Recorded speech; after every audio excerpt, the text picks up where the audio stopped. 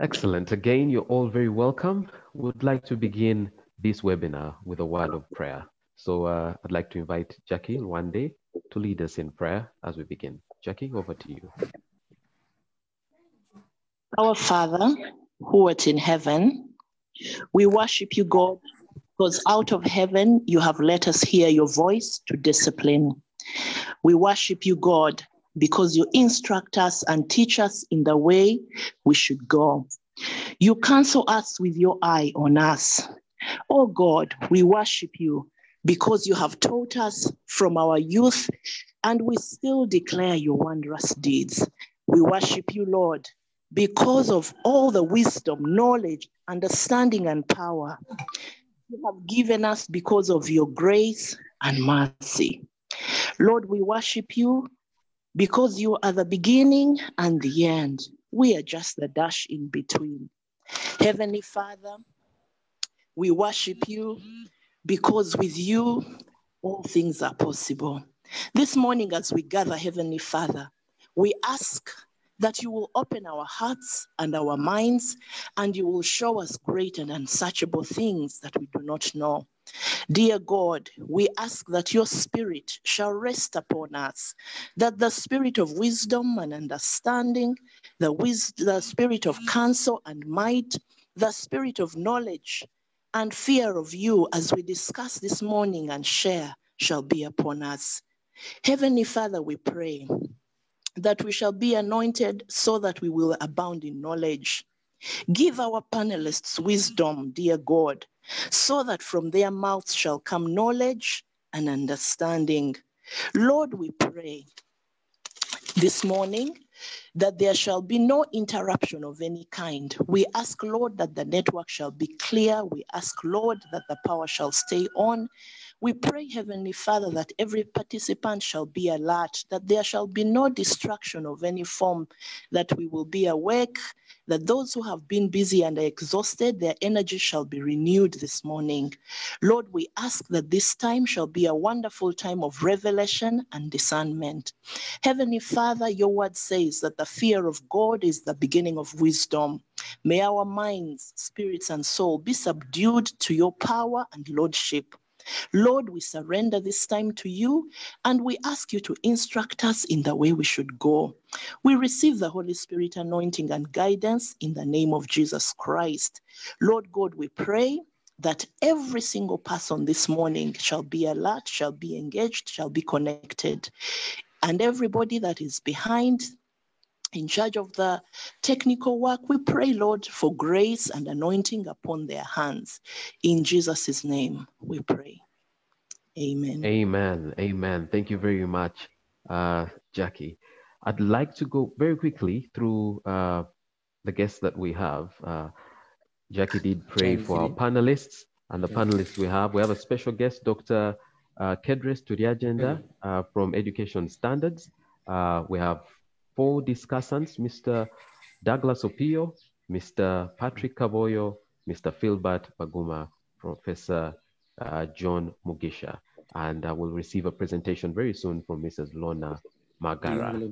So uh, those are the people you should expect to hear from uh, during this webinar. Uh, there are a few more that I will introduce a little later. Uh, yes, but for now, uh, if you receive the program, that's who we have on the program. And uh, right now, I'd like to invite Professor Joseph Oonyu, who is going to welcome us on behalf of CASTLE. and CASTLE is the one that has put together this webinar. Professor Oonyu, you are welcome. Okay, thank you very much, uh, uh, Gabriel. Um, participants and panelists, uh, you're most welcome to this webinar. I'm extremely excited. This is really a good opportunity. And as the theme goes, we should be able to thrive even amidst uh, what we now uh, are going through. Um, on behalf of Castle Think Tank, I would like to thank you for taking time to come to this webinar. Um, Castle Think Tank is an agency that is committed to solving the problems in this country in all spheres of life. Last year, we launched it uh, officially with the blessings of the First Lady and the Right Honorable Prime Minister. Um, I would like to thank all the organizers, um, Kathy, uh, Dr. Magara, and all the people behind the technical bit. I know the panelists very well. Um, Mrs. Lorna Magara is uh, a seasoned educator um, and um, she's currently the, um, the chairperson of the Governing Council of Makerere, Patrick Kaboyo from FENEI, Philbert Baguma, Professor Mugisha, Mr. Pio, and our special guest and sister, Kedrace. Uh, Kedrace is, by the way, also a, a, chemistry teacher. So I would like to thank and welcome all those panelists. I think we're going to have a very interesting interaction. I appreciate Gabriel for always being available and spicy in his moderation. Thank you, everybody. And uh, we're looking forward to uh, capturing all the deliberations so that we take this to uh, a different level. Thank you very much and welcome all the participants. Thank you very much, Gabriel, Professor. over to you. Thank you very much, Professor Oonyu. I'm looking at the numbers of uh, the participants and the numbers keep growing. So I think it's prudent that again I say good morning and you are all very welcome to this webinar organized by the Center for Advanced Strategic Leadership. Most of us know it as CASTLE. Uh, this webinar is under the theme COVID-19 Opportunity to Thrive. This is the second webinar in a series of webinars uh, on various sectors and uh, what opportunities can be harnessed from what COVID-19 has revealed. And today, we will focus on the education sector. The education sector is a tool for building a person in many aspects. Uh, if well handled and planned for, this sector can lead to a more productive and relevant workforce. This sector, like others, uh, has been affected by COVID 19. And we shall all recall that the first lockdown measure was the closure of education institutions. I believe this was on March the 20th the closure has affected the education sector in many ways. And uh, today we will discuss how the sector can thrive in these times. We're going to begin uh, by receiving a presentation, uh, a presentation on a presentation on you know what CASTLE has come up with in relation to the education sector. For those of you that were present at last week's webinar, were informed that uh, these discussions we're going to be having were informed uh, from a long webinar that had around 33 different sectors. And uh, one of them is the education sector. And the person going to take us through uh, the think piece from uh, the education sector is Mrs. Lorna Magara. She has been actively engaged in the world of education for over 15 years. She's a strong believer in education being a, transform, uh, a transformational process that impacts the whole of a life and a key determinant in the formation of the character and quality of society.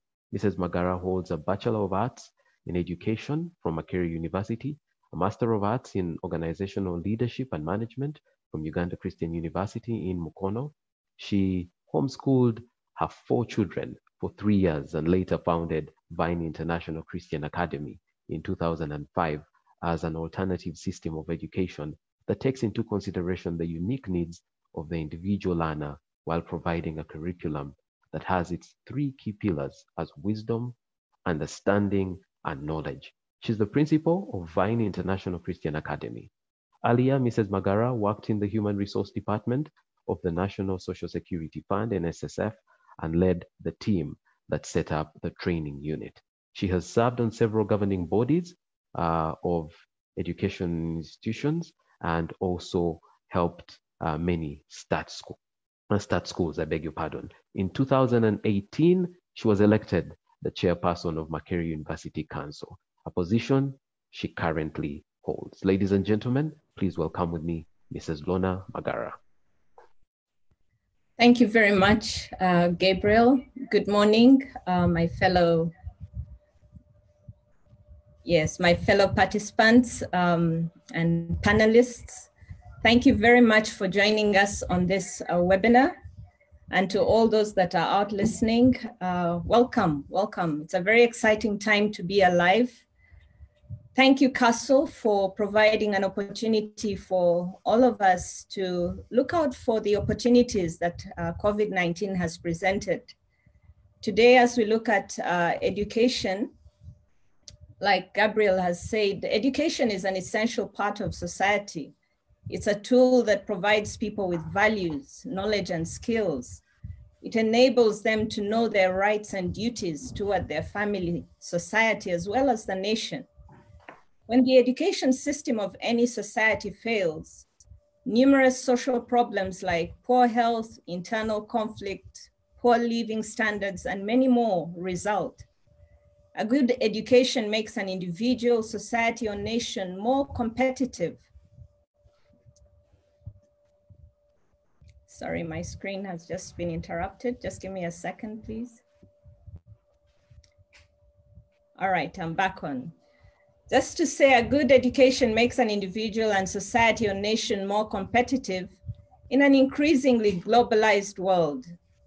Education globally has been profoundly impacted by COVID-19 and the pandemic has cast a dark cloud over the society and over this sector in, in, in particular.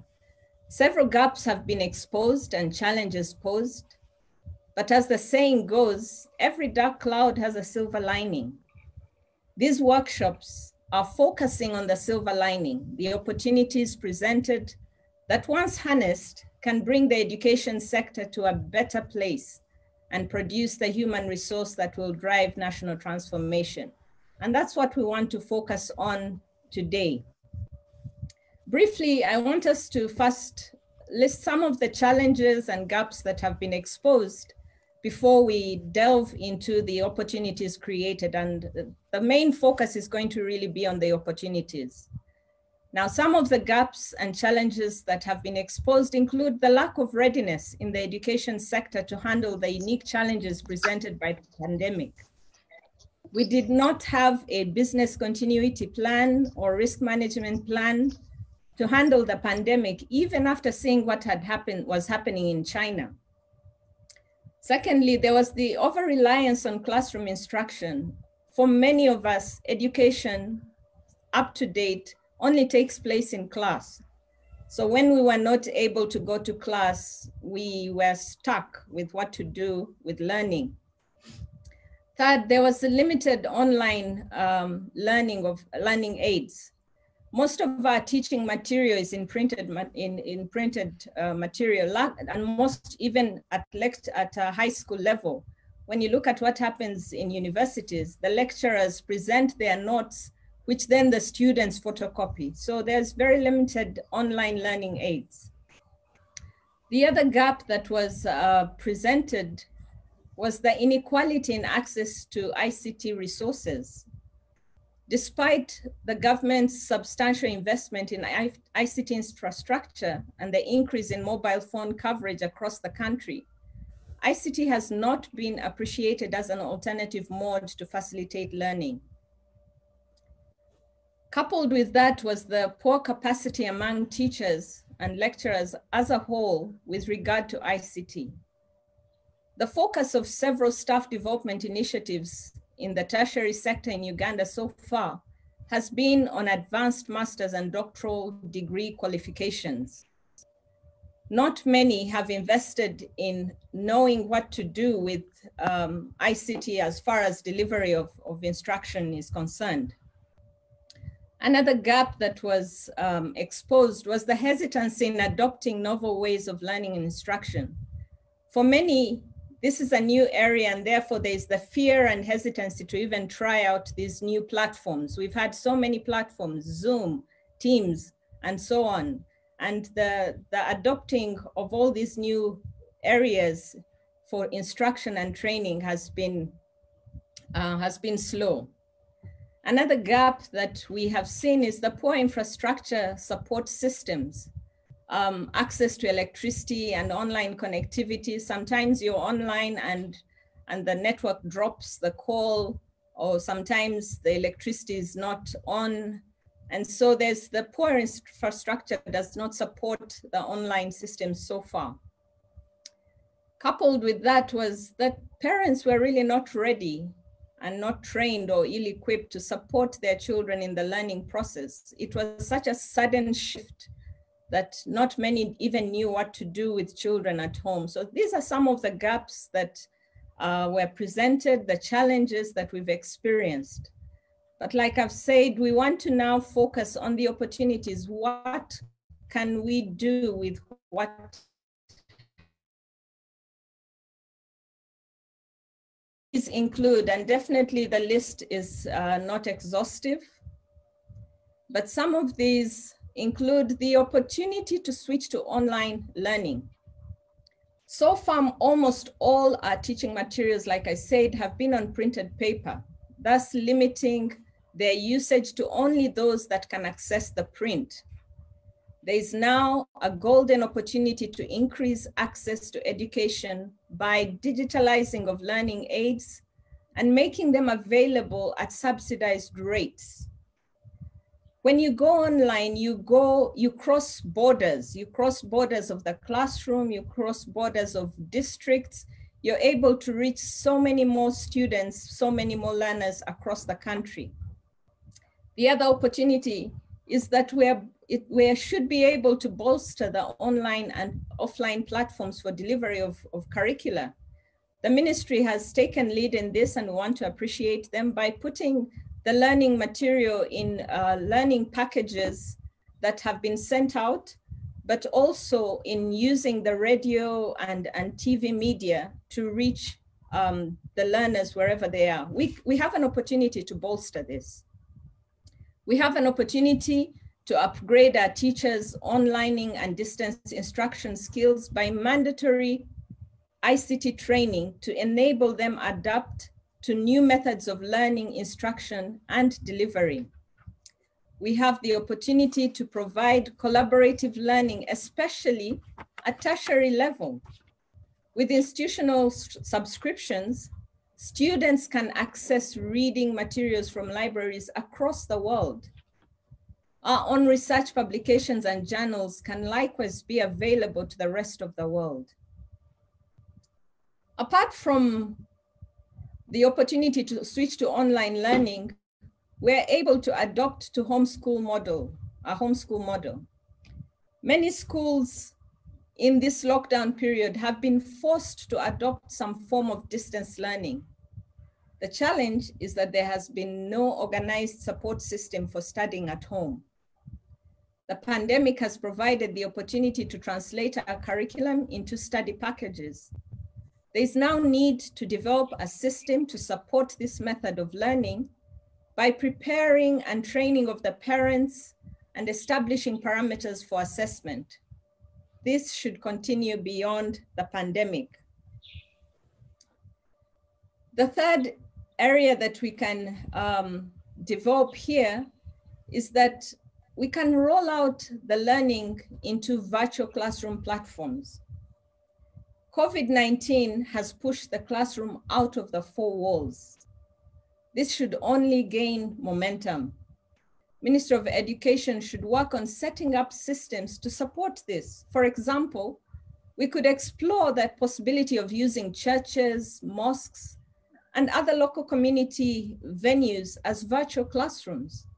Many of these are underutilized and even closed during the weekdays. This offers the possibility of standardizing the delivery of content across the country as one teacher can potentially teach thousands of students at the same time. And another opportunity that has presented is a, is a asynchronous learning. Now, in asynchronous education, we're not limited in time and space. Content can be recorded and stored for use when the learner is ready.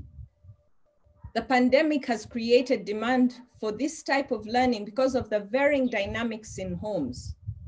Not all homes are structured the same way. Some will start with work within the home or a trade or even in the market or some will start in the gardens and then they want to come home and be able to settle down and study.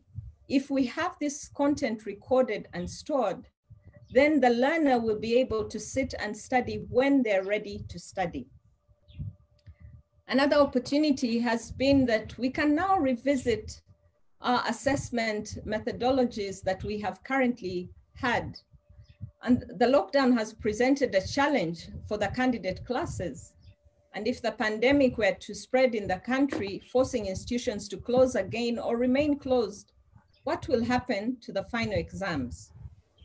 The formative assessment approach can help us in such circumstances.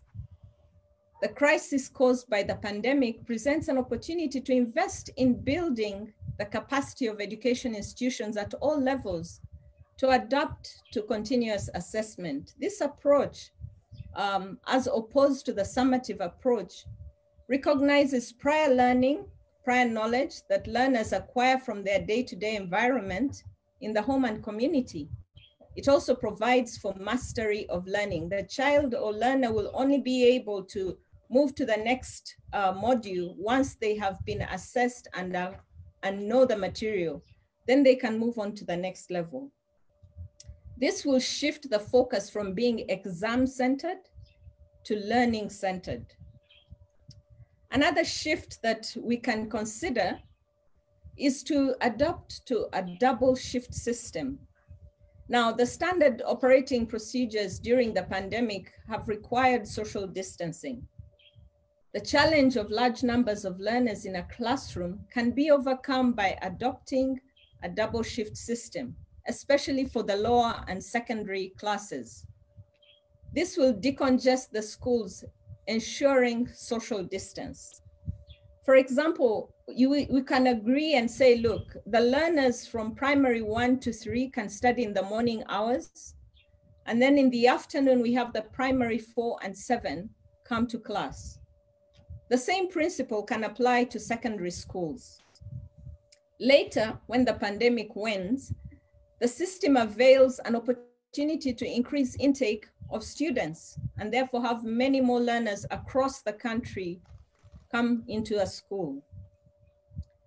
The other option we have that we can uh, consider is having re resetting the calendar, the, the annual school calendar to a two semester system of 15 weeks each. Currently, the annual school calendar runs on a three-term system for all institutions except universities. The proposed reset to a two-semester system has the following benefits. It improves development of study habits in learners. They have the opportunity to learn without the pressure of studying for exams or tests within a few weeks of getting to school. The learners also have longer holidays that make for meaningful engagement in pre-vocational and vocational exposure. Exposure to pre-vocational work is the best way to promote TVET, and now TVET is the technical vocational education training as a career. Since the holiday of 22 weeks is long enough, it gives flexibility to schools to efficiently utilize the limited classroom and sanitation infrastructure available in the schools by having various classes attend school in alternate semesters. With this arrangement, again, for example, when you have primary one to four at school, the upper classes five to seven can be on holiday. This arrangement can be can, has the following profound benefits. It reduces congestion in classrooms, improving the actual student to classroom ratio. It also improves the individual attention to learners, since at any one time, only half the school population will be in the school. It maximizes the utilization of school facilities as opposed to having them empty or redundant for almost 40% of the time in the term system arrangement. Now, we also have, um, COVID has presented an opportunity to provide the infrastructure for the new modes of learning. These that I've just presented need an infrastructure that will support their operation. Now, the cost of broadband internet in Uganda is still exorbitant and out of reach for individuals and many education institutions.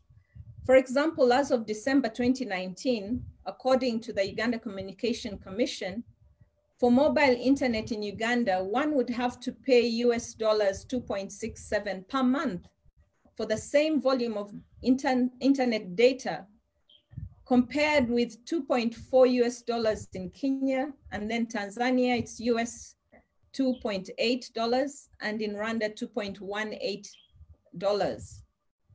Now, for an institution such as a school, the monthly cost of a dedicated line of broadband internet is about $180 within Kampala or $205 outside Kampala. Not many schools can afford this. In the medium term, government can help bring down the cost of accessing broadband internet by one, incentivizing telecoms by assisting them with the cost of inputs for setting internet infrastructure. Also, by extending broadband internet to all public education institutions, organized private settlements and neighborhoods. This will, in the long run, increase the number of broadband internet users, thus drive the prices down. The other great opportunity that we have now is one of producing manpower for manufacturing and industry.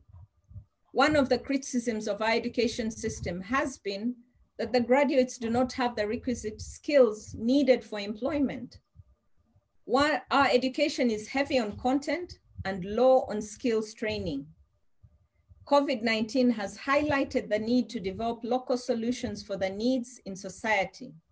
This crisis presents an opportunity to position the technical vocational training system as the driver of innovation and employment. This will enable us harness the power of innovation and design curricula that is responsive to local challenges. And to do this, we need to bring the vision of TVET, the technical and vocational training. We need to bring that vision in basic education and then link higher education with lower education. This will ensure continuity in the training. We also need to change the mindset.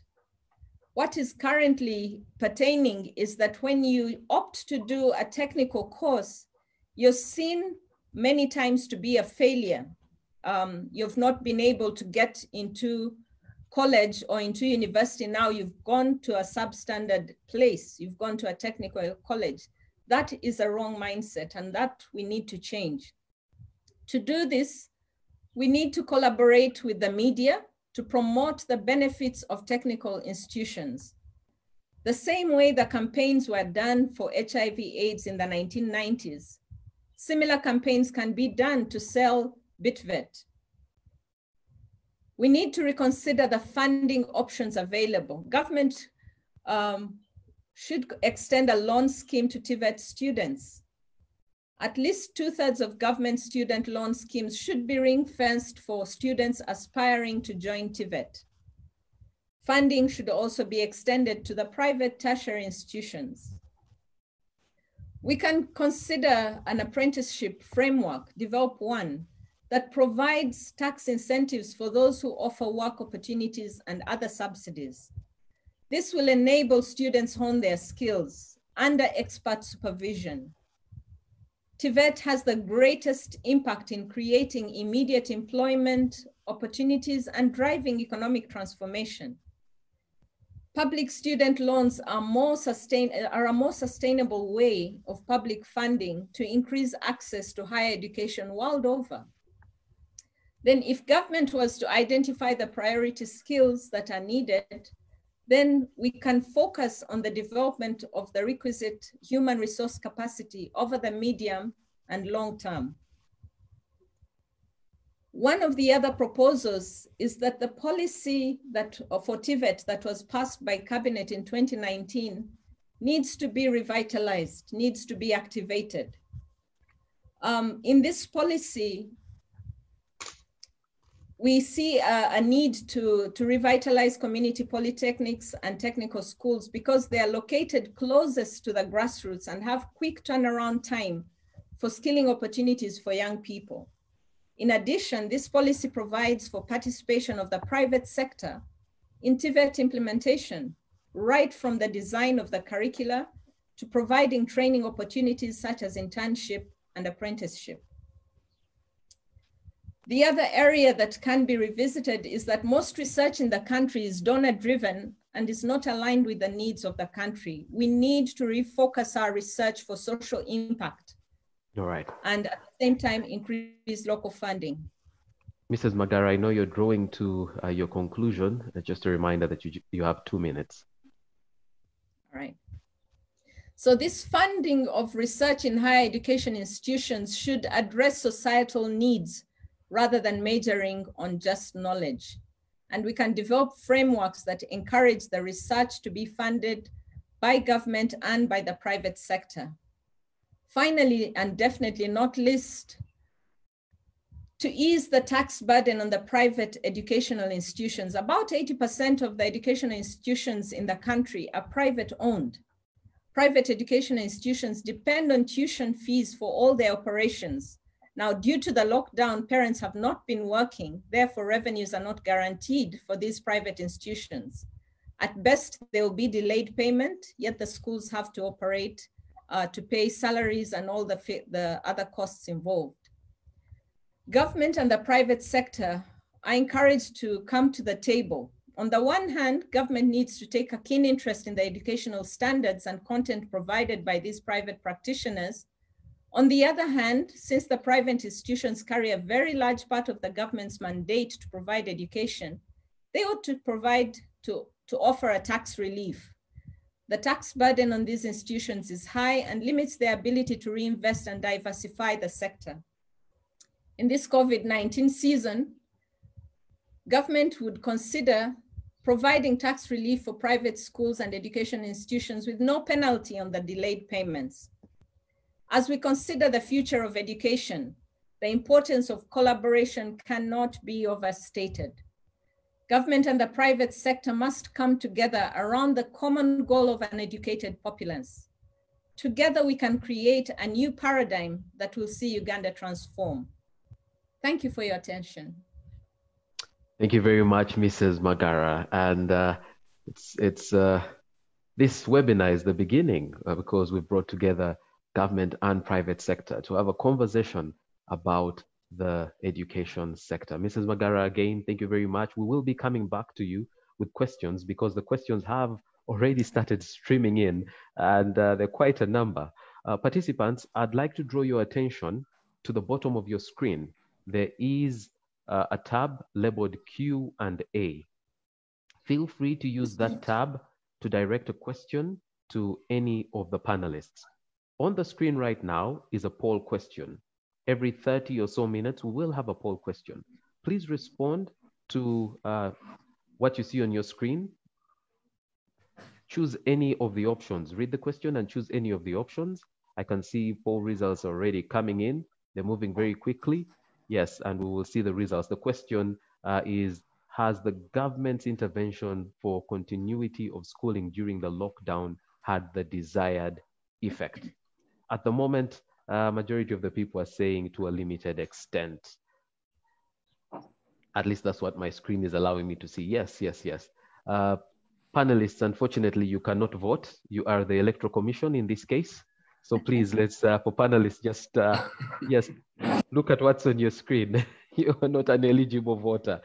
I'd like to uh, recognize the presence of uh, Professor Nawangwe, the Vice Chancellor of Makerere University he has joined this webinar via Facebook.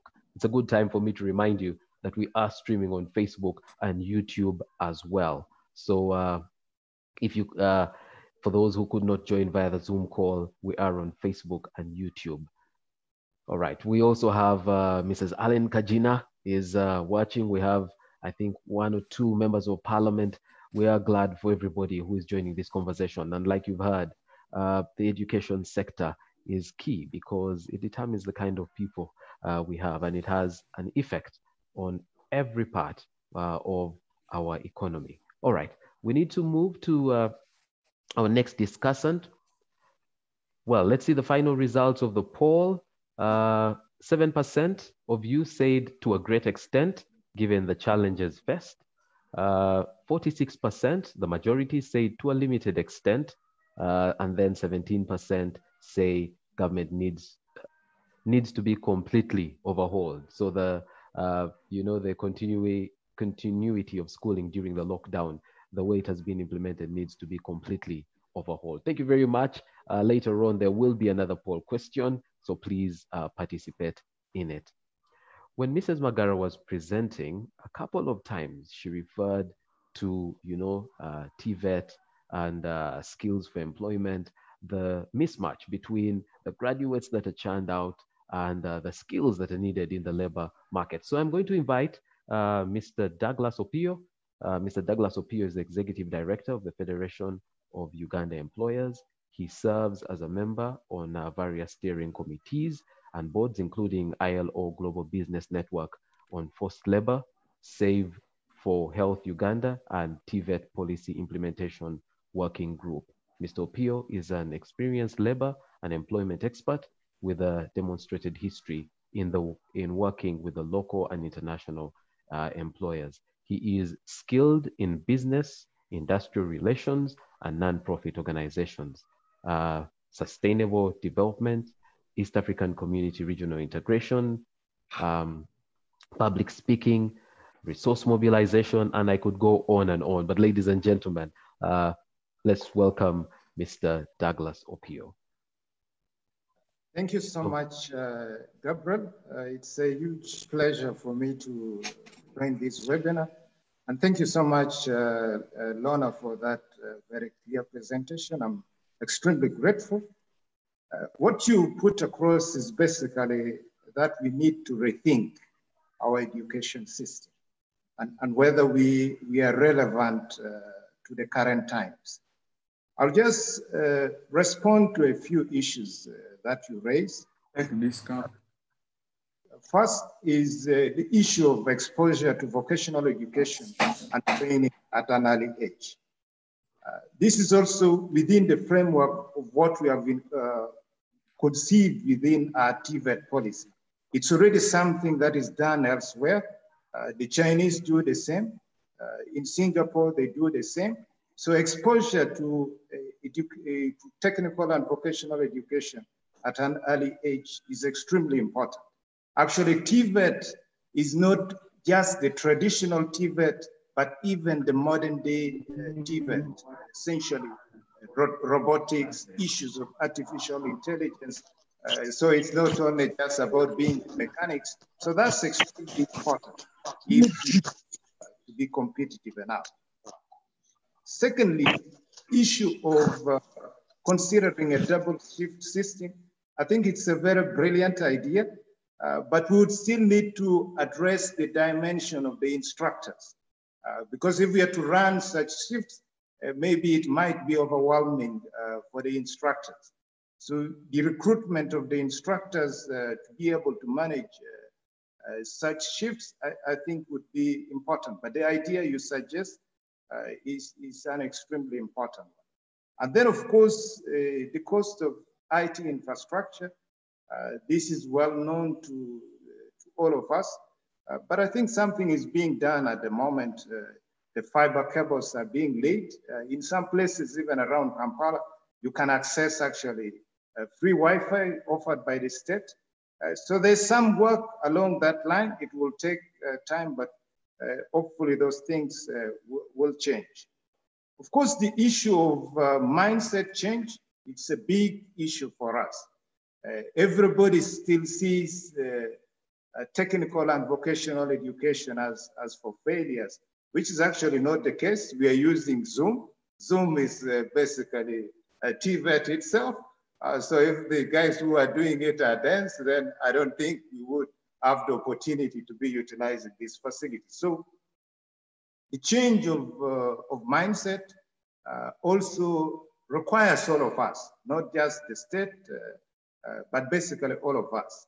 Now, just for information, the apprenticeship framework exists. We have the Uganda National uh, uh Apprenticeship Framework that was developed by the ministry responsible for labor. So we have one in place. We simply have to get into uh, the implementation side. But before I uh, stop, I want to just provide a bit of information of what the government is doing. Uh, because sometimes when we talk, uh, everybody is very unhappy, uh, thinking nothing is happening at all. Uh, just for information, the government is uh, listening and the reforms are beginning to take shape. Uh, I'm the co-chair of the TVET implementation working group. We are working with a TVET policy that has been developed by government and already approved by cabinet. So our role is to ensure that the TVET uh, policy gets uh, implemented.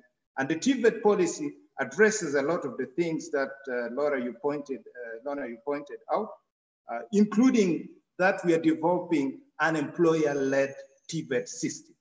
So many times we are complaining about the mismatch of skills, the inability of people to transit from uh, the technical schools right to the world of work, that has been addressed. We are developing an employer-led TVET system, so the linkage with the industry has been strengthened.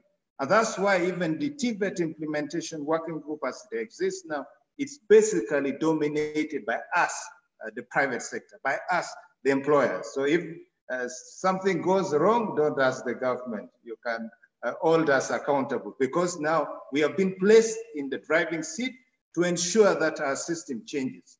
What are the key reforms that we are looking at? First, we want to look at competence-based uh, education and training. So essentially, we are looking at the skill. We are not just looking at the knowledge. You know, education combines the element of skills, knowledge, together with the attitude. So we are looking at the whole uh, spectrum uh, of, of competence, not only uh, the competences of skills, but also behavioral competences, because employers are also concerned that the people, even when they're skilled, the attitude is not the right one. They are not able to work because uh, they have a negative attitude towards work. They are not self-driven. They are not able to deliver. So we are looking at a reform that is addressing it, the whole spectrum of, of, of skills and behavioral competences issues of, of, of values as well. So that's the first one. And we're looking at it with industry standards. So essentially bringing, if we are to say the world of work to school. So the collaboration between the industry and the uh, training institutions, we want that uh, to be strengthened. Alongside that, we are looking at the entire qualification framework, essentially a Ugandan national qualification framework. And that addresses the issue you raised a lot of the linkage between the lower and the uh, higher uh, aspects of education. We want that linkage to be possible, and that can only be possible within a qualification framework. If I've stopped at P7, I can as well still uh, go to a TVET school and then become even a university graduate. So the pathways uh, would exist. So we're looking at a qualification framework. The other dimension we're looking at is recognition of prior learning. There are a lot of our skilled people you talked about, uh, for instance, recorded learning and all these things. Our traditional skills may be board making, uh, barkcloth making, they can't be recorded and learners can learn that uh, from home. So we are looking at recognition of, of prior learning and you can actually be certified as a, a barkcloth maker with the re uh, required competencies and somebody can hire you to make barkcloth, for instance, for their hotel, because you actually have a certification in making barkcloth. So we are looking at recognition of prior learning. We are also looking at the issue of instructor training, because if we are to change our system to competence-based uh, uh, training and assessment, then we need the instructors to be able to deliver on that. So we are also uh, looking at uh, issues of in, instructor training. And then of course, very uh, fundamental, the public-private partnerships. Mm. you speak about the issue of loans. In Kenya, for instance, loans are already being offered by the government for TVET learners. But also in our case, we think that might not be sufficient. The investment required in technical education is much more. So we are considering the possibility of a training levy and other funding options so that we, we can actually make the facilities available. These right. days, when we talk about artificial intelligence, for instance, when we are producing a product, it's not manufactured the mechanical way. We use 3D printers. Now we print a car. We don't just uh, print uh, peppers, but we also print a cup. We can print a spoon. We can do all this. And the investment required for that kind of uh, facility to be in a training institution is quite high. It won't be financed just by the tuition fees of the students. So that's why we are looking at the possibilities of training levies. And then lastly, my time is up. I know, Gabriel, you, you already uneasy a bit, uh, is the issue of infrastructure, which we are working with uh, several partners. Uh, but just uh, my final word for this uh, particular moment is just to reassure all of us that the government is taking the issue of skilling Ugandans quite seriously. And the, the, the critiques, the concerns that have been raised, including with, by myself, now we are responsible to ensure that that happens. So uh, together with you, we are open to welcoming your inputs. Now we are doing a lot of paperwork so that we can have the law in place. Now we already have the TVET policy. The next step is to have the law in place and we can establish a TVET uh, council so we can get these ideas rolling. Uh, so uh, next time things are not happening, you can look up to us. We are, we are responsible. And I think the government uh, is basically listening to us quite well. Thank you so much, Doug. Thank you very much, Douglas. It's amazing how many times you've, in this presentation, you've taken responsibility.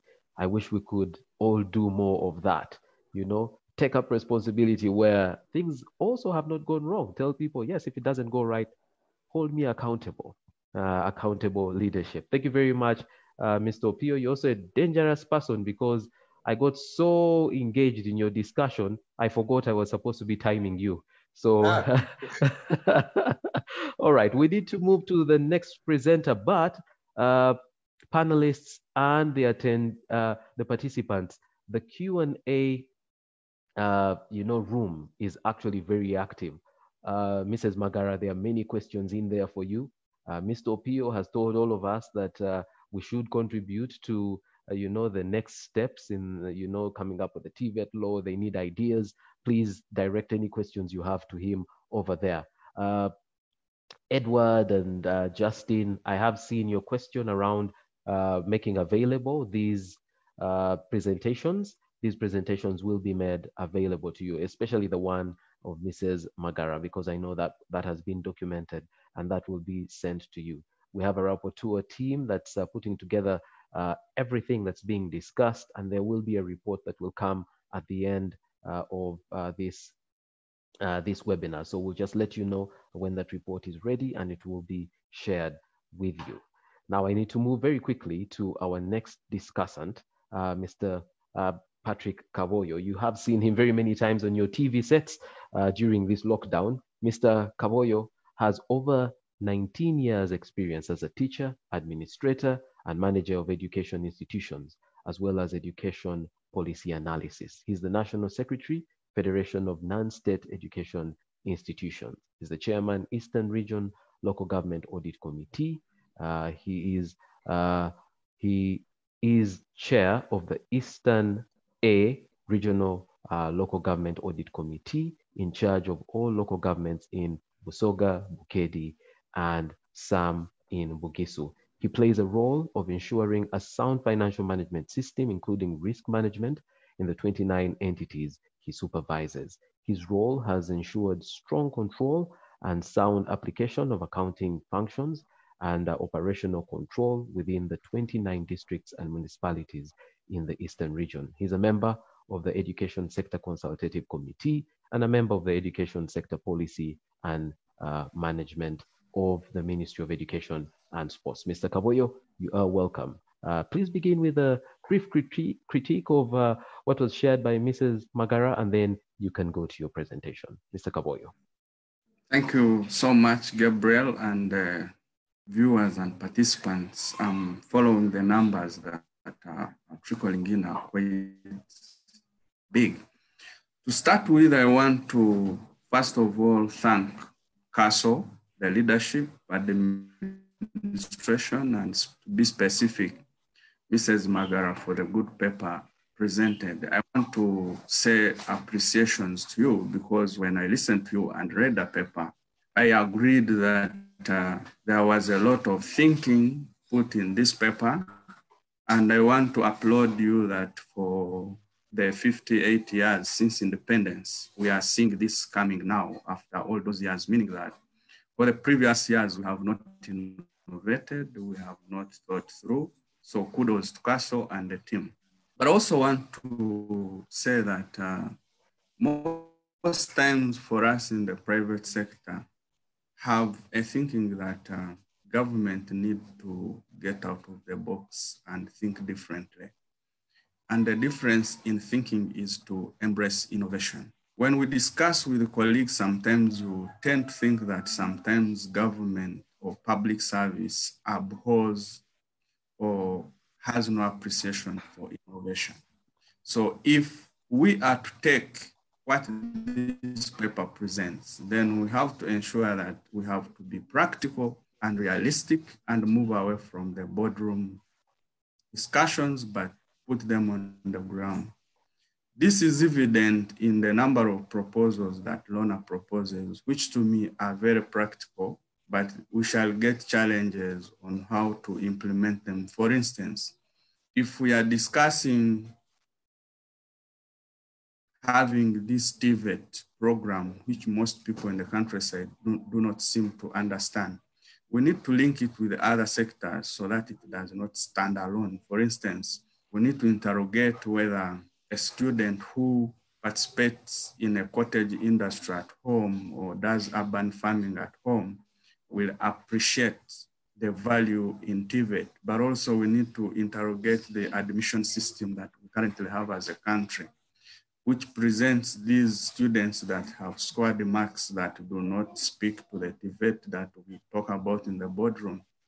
And we also need to link other programs that government is implementing to actualize the real TVET that we talk about, for instance, if we are pumping a lot of money in operation wealth creation to beautify or improve agriculture, what happens to the school gardens that we grew up seeing in our schools? And can we find out whether they are functional, productive, and economically viable schools that have gardens where the neighbors can go and harvest tomatoes or crops that the, the, the neighboring schools can feed on. But what we see is that uh, by and large, students are being at school without food and they are on empty stomach even when we have land and we also have the good programs. The other issue in terms of uh, practical application of what we are talking about is to ensure that uh, we implement the 17th Sustainable Development Goal, which is about part part partnerships for these goals. You know, we are all now focusing on looking at Uganda in an isolated way, but we are part of the global village. We have 10 years to conclude the SDGs. So for you to have quality education, it means that you have to think aloud and have real financing that must uh, improve the outputs that you are looking at. For instance, if we have lots of money that we are sinking in, uh, for instance, the youth livelihood program and the women entrepreneur schemes, which are taking billions and billions of money, but we are here looking at uh, the education sector not having an education fund. An education fund would be supported in terms of uh, amplifying research, catalyzing thinking, and also I would propose that uh, in a program like this, the education sector ought to have made the biggest contribution for this, web, for this webinar because it is the primary recipient and beneficiary in this, meaning that this should be the partnership we are looking at. But also in terms of listening, oftentimes public entities do not appreciate feedback or they prefer to move as they go because for us in the private sector, the issue is uh, results and timelines. We interrogate procrastination because we have targets. I think moving forward, government must set targets to ensure that after a certain time, there should be a realization of ABC. I would love to see this paper and the proposals that uh, Lorna and Tim are proposing are fused and put into the sector to inform the agenda. I'm happy to note that uh, since independence still, it is this time, I think about two years ago that the ministry is moving in the right direction in terms of reform. The reform mode now has brought in the many policies that you heard Douglas talk about, the TVET policy, there's the national teacher policy, there are other policies taking place, but uh, it is good to have policies, yes, but it is very good and good enough to have the population, to have the participants, to have the citizens know these policies because they are the beneficiaries. This therefore calls for meaningful engagement, participation, having ears on the ground to ensure that everybody is on board to avoid backtracking and also pro procrastinating on issues that could be addressed. And also want to say that uh, if we are really looking at improving as has been presented by the paper, we need to interrogate whether what is talked about is workable in the entire city. But as long as those in places of responsibility are not appreciating and will not make an improvement. So CASTLE should press and press hard to ensure that the good proposals made penetrate to the highest authority, catalyzes thinking, and also reawakens those that are sleeping. Because I know that when you are in a comfortable zone, you might not think aloud so much. There is a reason why it has taken 58 years to date without a think tank. There should be a reason. I had Iguma announced that uh, our VC of Makerere is around. My question has always been the linkage of universities and the Ministry of Education and Sports via research. I would love to see a component fusing in the number of researches that students do at different levels, right from the undergraduate to postgraduate, including PhDs that uh, have delivered something tangible. Okay, it's good that students do research and pay their books in libraries, you award them, but have we picked out some critical topics or critical issues that we can rally behind to discuss with the Ministry of Education, to ensure that we are tangibly addressing social, economic, or even political issues that students are putting in their good research.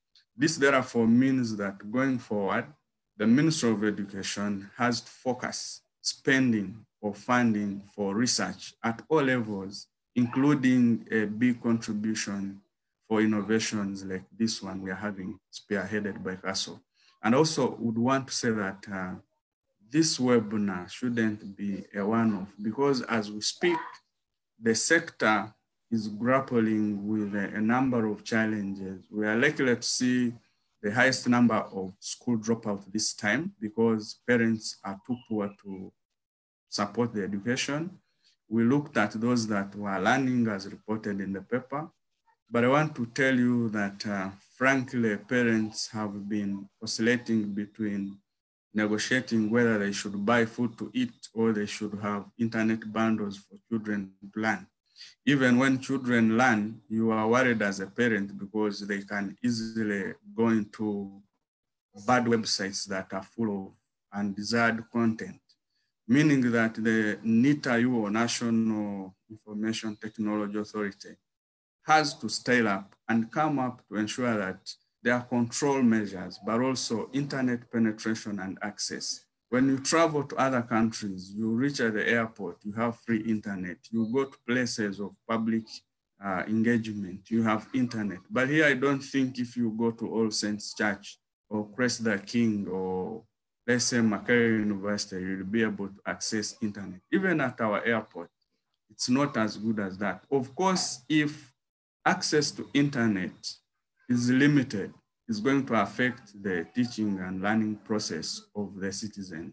So it is incumbent to ensure that uh, our telecom companies are talked to by the sector, by the Ministry of Education, to ensure that there is a framework that comes in as a corporate social responsibility to ensure band provision or internet provision to at least a reasonable number of education institutions.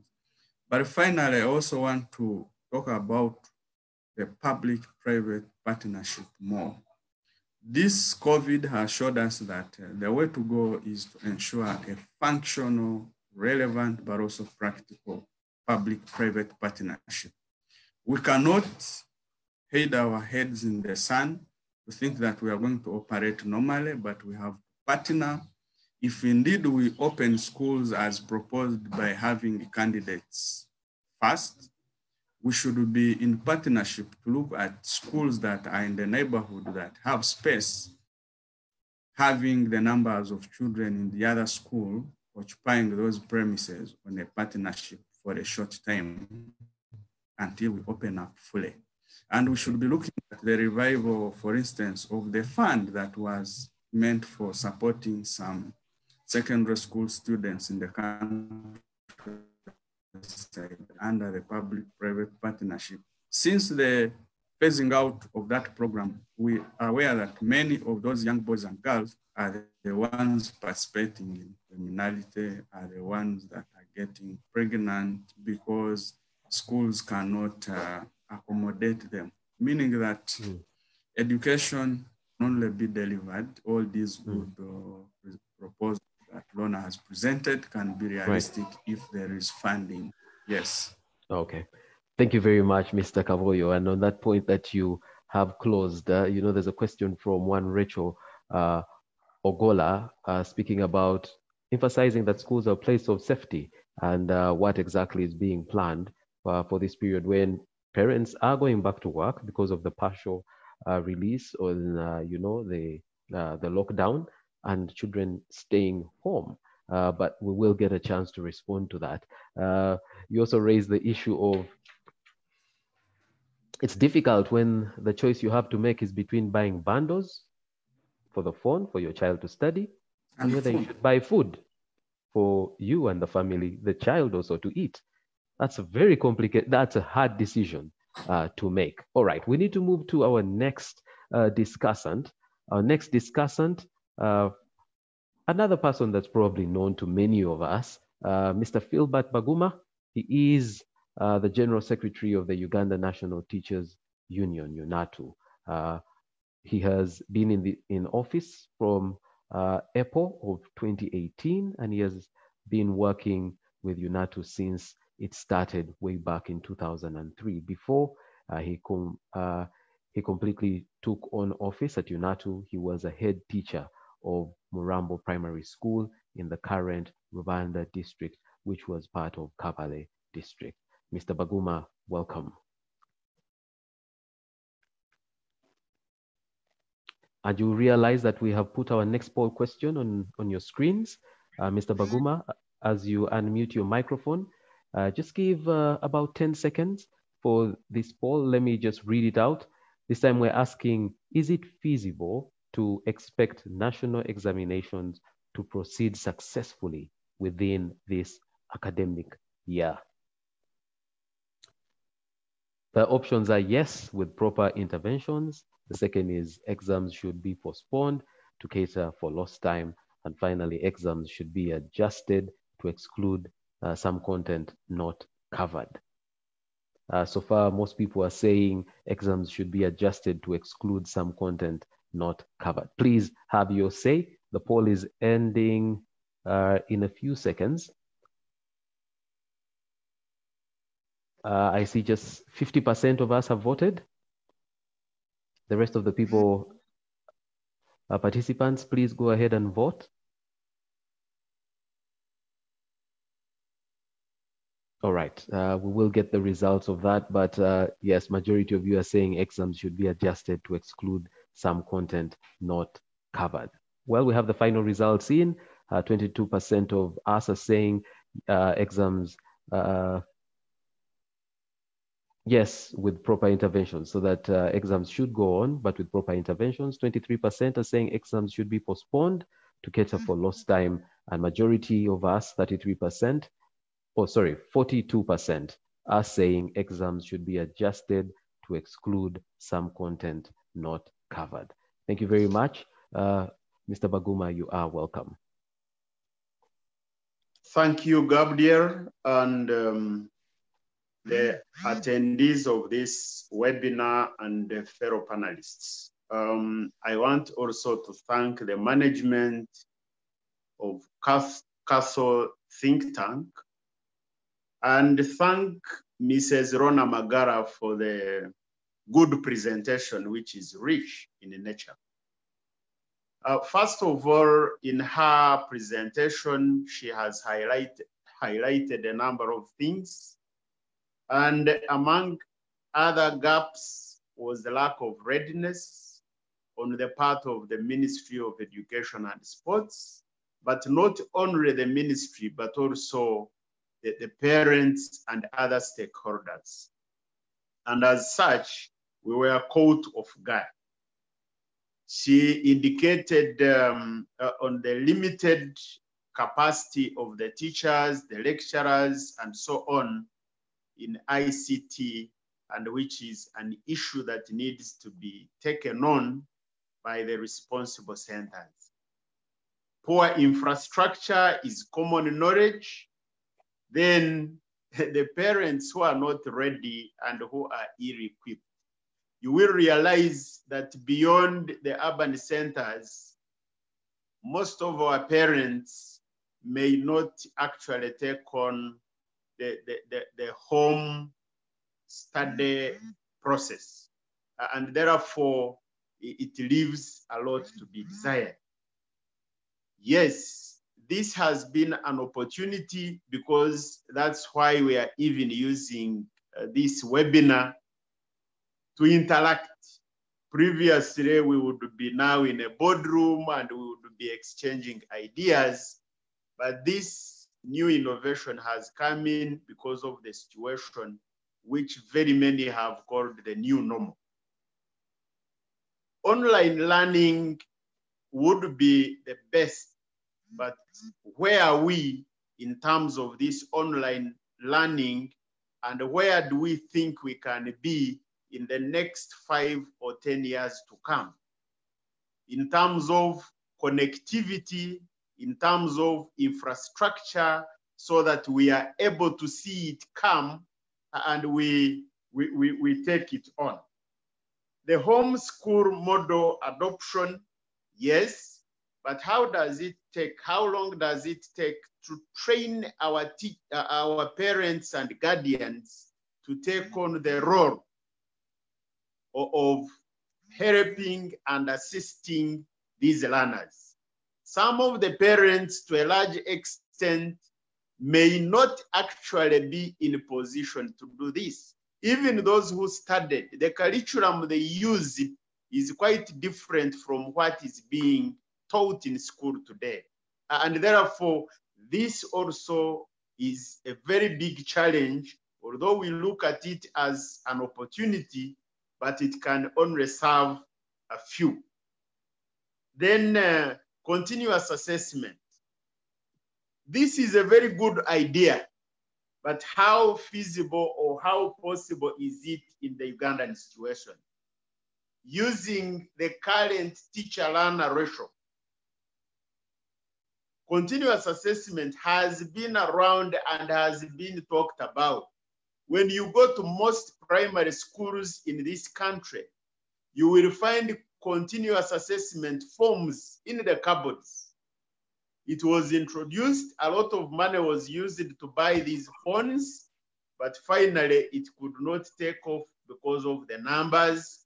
And therefore, whereas we are looking at formative evaluation as opposed to summative evaluation, we must take note, serious note of um, the teacher-learner ratio because that is where the challenge is and that is where it lies. Double shift, yes, the idea is okay, but how feasible is it in the Ugandan situation? We already have uh, testimony of some institutions which started double shift and the enrollment dropped drastically. And therefore, it also needs to be studied further. What could have led to this? And uh, the, the stakeholders bringing ideas together would give us an opportunity of where to begin from. The, the, the resetting of the school calendar to have uh, a semester system you will realize that parents and stakeholders have got the school structure as a safe place for the learners where to be. And therefore, when you have this time, unless we are saying that this long holiday will be used for practical skills so that even when we are, we, we, we are in recess, in between the semesters, the learners are continuously being engaged in practical work. But when we say they have to keep at home, I believe it will meet a lot of resistance from the stakeholders because they are not used to that kind of arrangement. TVET or BTVET uh, coupled with um, mindset change. We have a lot, a lot of work to do. When you go in the country at primary seven or at senior four, more than 80% of the uh, candidates feel the option other than the BTVET. Actually, even when the learner is going for vocational, technical, it is an assumption that that one has failed or that one does not have school fees. And therefore, it's high time that we invested a lot in mobilizing stakeholders to change their mindset towards technical and vocational schools so that uh, a lot is done in that area because that is the way to go. Other than that, we need to have a reflection on the uh, SDG 4 in relation to the good document that was prepared by Mrs. Lorna Magara. One, SDG 4 is about inclusive and equitable quality education and promote lifelong learning opportunities for all by 2030. And the main target is to have increased access to education, quality education for all, equity and inclusive with no learner left behind. Note that our ideas should fit within these targets of SDG 4. And therefore, when we look at online learning, beyond the immediate crisis response, this pandemic has fully confirmed that distance education cannot replace school communities. The, the, use of tablets, videos, TV shows, newspaper pullouts, and online platforms cannot replace trained, qualified, and supported teachers. The face-to-face interaction between learners and teachers remains a major ingredient in achieving quality education. When you look at the, the, the coverage of the TVs, the coverage of the radios, the, the, the, the coverage of the newspapers, you will realize, although we don't have the figures to know who has been studying and who has not been studying, you will realize that very many learners would have been left out. And uh, when you look at the practicability of the ideas, I like the, the paper, the ideas in the think piece, though genuinely thought provoking, do not able take into account the consideration of the realities on ground in Uganda's education system.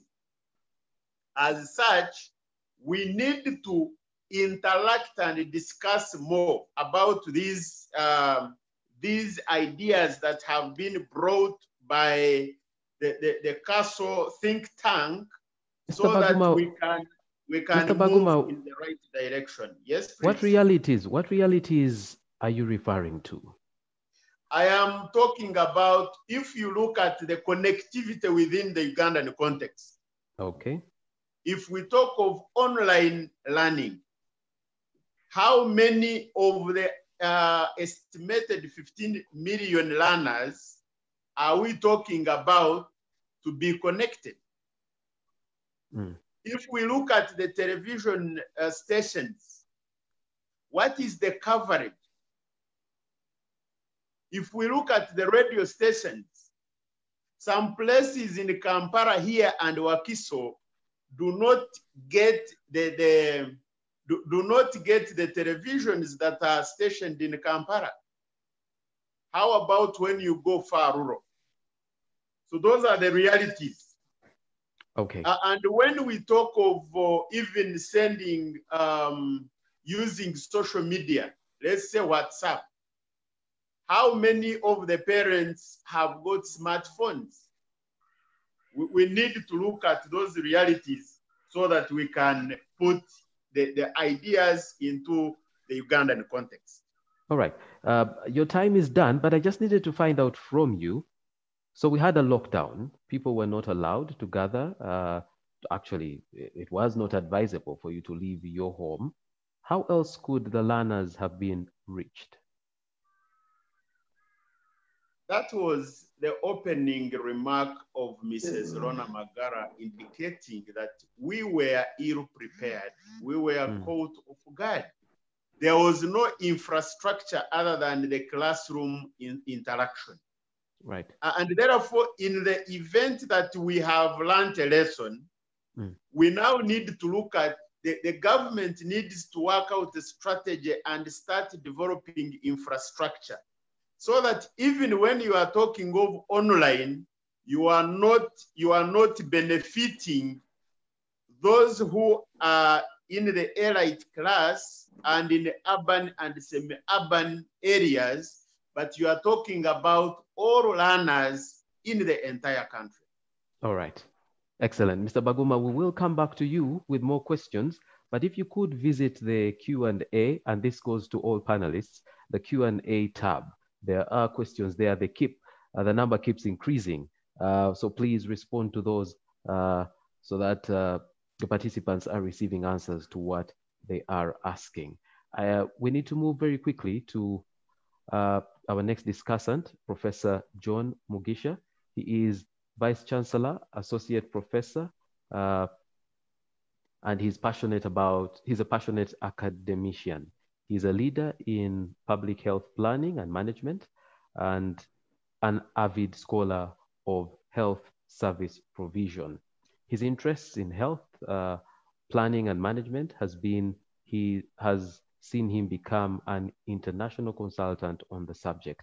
In 2008, he developed the guidelines for monitoring and evaluation of the health sub-district management training in Uganda, a consultancy funded by the European Union. Prior to joining the Cavendish University uh, family, Professor Mugisha was the Dean Faculty of Health Sciences of Uganda Martyrs University.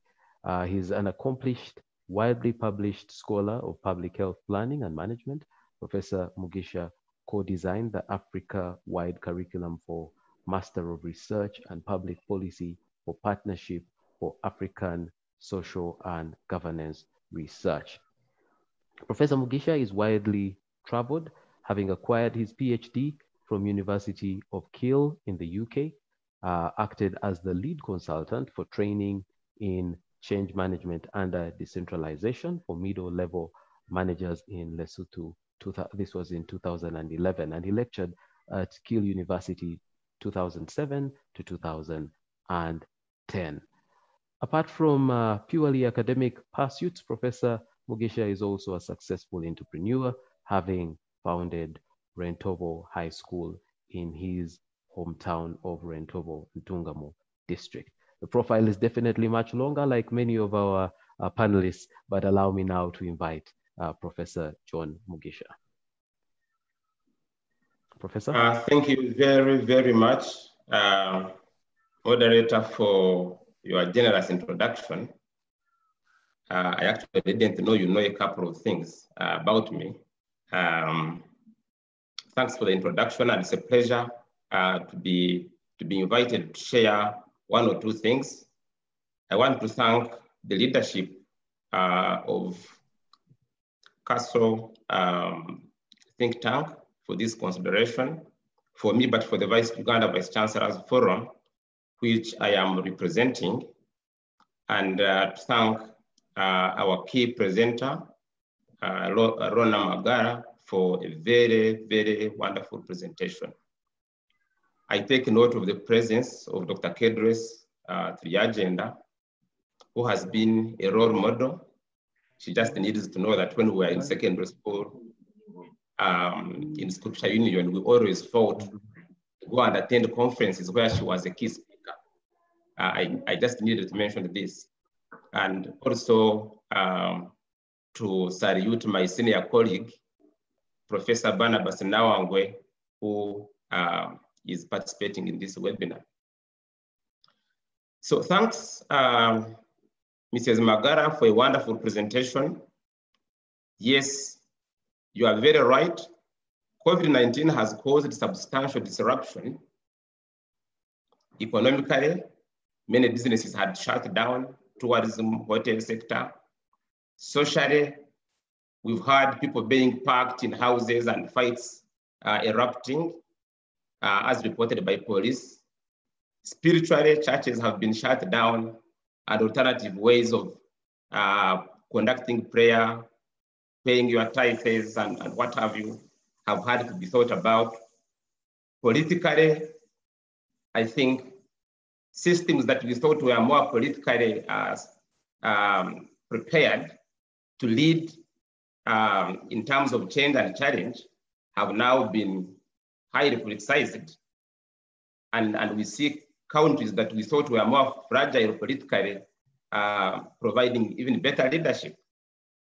But I want to focus mainly on education uh, because that's the theme and, and, focus for today, but also because I represent uh, the Uganda Vice Chancellor's Forum, where I serve on the executive as, as, the, as the treasurer.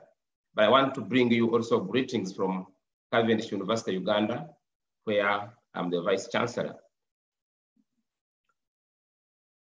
My colleagues who have previously spoken have discussed some of the things that uh, Madam Lorna Magara has raised, and I will not go into some of the things that they that she talked about and and where they, where they made some some uh, they raised some areas of concern. I will just touch on very few of them um, one, of, on the priorities that we can look at. I agree with the presenter. Things like homeschooling as alternative methods of schooling have become very important. Some of the previous speakers have mentioned the downside of homeschooling, and I cannot agree more. But we are not going to throw this away because sometimes it is the only thing to do. And I think we need now to begin looking at homeschooling as a possible um, alternative model. And, and, and so this calls um, on the policymakers to see how this can be worked out and developed. It will also involve adult uh, education, training the parents, and, and uh, to be supervisors of this kind of learning, because this is actually going to be a reality. I have something about the double shift system. Uh, Mrs. Lorna Magara has mentioned some benefits. I want to think that the double shift system may not necessarily be very efficient. It will reduce on the congestion. It will decongest schools, especially primary schools that she demonstrated with. If you have P1 up to P4 coming and the upper primary school uh, children coming in the afternoon, you will decongest the, the school campus. But in terms of decongesting the classrooms, where the biggest problem actually is, it's where you need to ensure social distancing. Um, if you want to decongest these classrooms, it will not be possible unless you split uh, big classes into smaller ones, where then you actually need more teachers to teach the same people. Uh, so while the double shift system is important, uh, we need to take a bit of caution and see how to manage it because you can end up having more classrooms studying the same things, classrooms of, of you know, classes of, of, children studying the same things because of the need uh, to ensure the social distancing, even within uh, the, the same shift. The other question, of course, is whether if we use the double shift system, we would be able to squeeze all the curriculum uh, to cover all the curriculum within the, the, the, seven years of primary school, the four years of O level, the, the two years of A level, and what have you.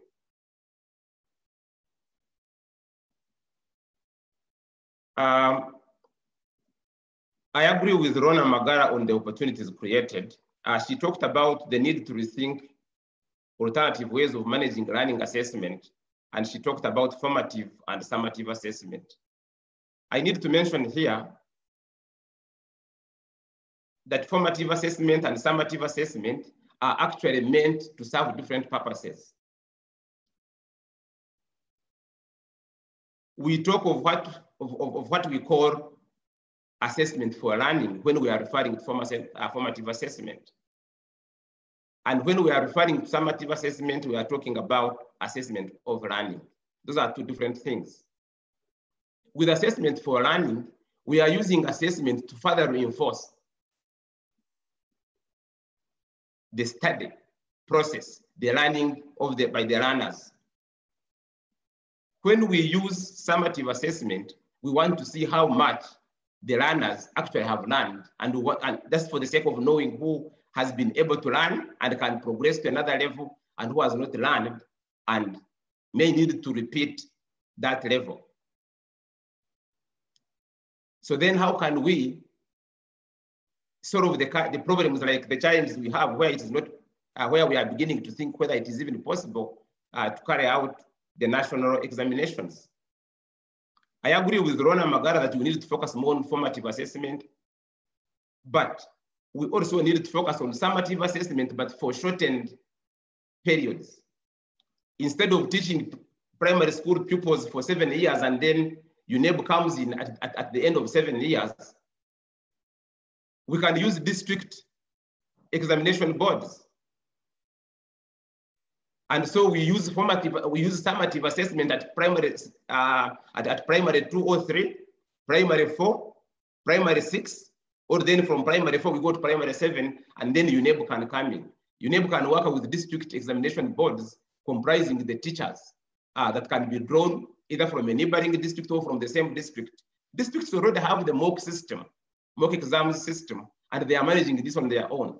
And we need to train the teachers, build their capacity, so that instead of waiting for formative assessment at the end of four years of O level, seven years of, uh, of, of primary school, we can actually shorten the summative assessment duration, but continue also with the formative assessment. All right. Professor, you have uh, three more minutes. Thank you very much. Now, let me mention uh, that COVID-19 has presented an opportunity for universities to become innovative. We have identified ways of engaging students remotely, ways of conducting uh, meetings remotely, ways of continuing to function as academic institutions remotely for us in Cavendish University, Uganda, we just shift, we just switched all our contact students to our learning platform that was already serving distance learners. And we kept working, we had trained our staff to work remotely. And so I guess also a few other universities faculty boards, University Senate Council, even graduations. Just two days ago, we held our first scientific and virtual uh, graduation very successfully. Some, some people probably on, on, uh, in, on, in this webinar would have followed that. But we also see that for the future and for the present, the need to switch online study cannot be an option. Universities in Africa cannot shut down completely when the rest of the world is moving forward. If we do this, Africa will be recolonized. We need to get ways of continuing to engage our students. And when we talk of online study, we don't mean that you must have a learning platform like Cavendish University has or, or Makerere University or some other universities that may have learning platforms. You can start at a low level. Use Google Docs, use simple email, and then get the universities with, the capacity to train the others that need this capacity so that we continue teaching and learning. Let me mention a word of caution because I come from the public health background. COVID-19 is on the increase. It's on the rise. Those who are rushing to open universities, reopen universities and bring students on campus, you will be shocked if you get this, this, this disease spreading and affecting so many of the students. The risks are very high. I think it is safer for all, especially higher education institutions, to focus on how to integrate, how to adopt online learning and use it for teaching and learning. Because this can be done, this is possible. We are doing this, and I don't see why other institutions cannot do it. All right, because of time, we'll take one more point.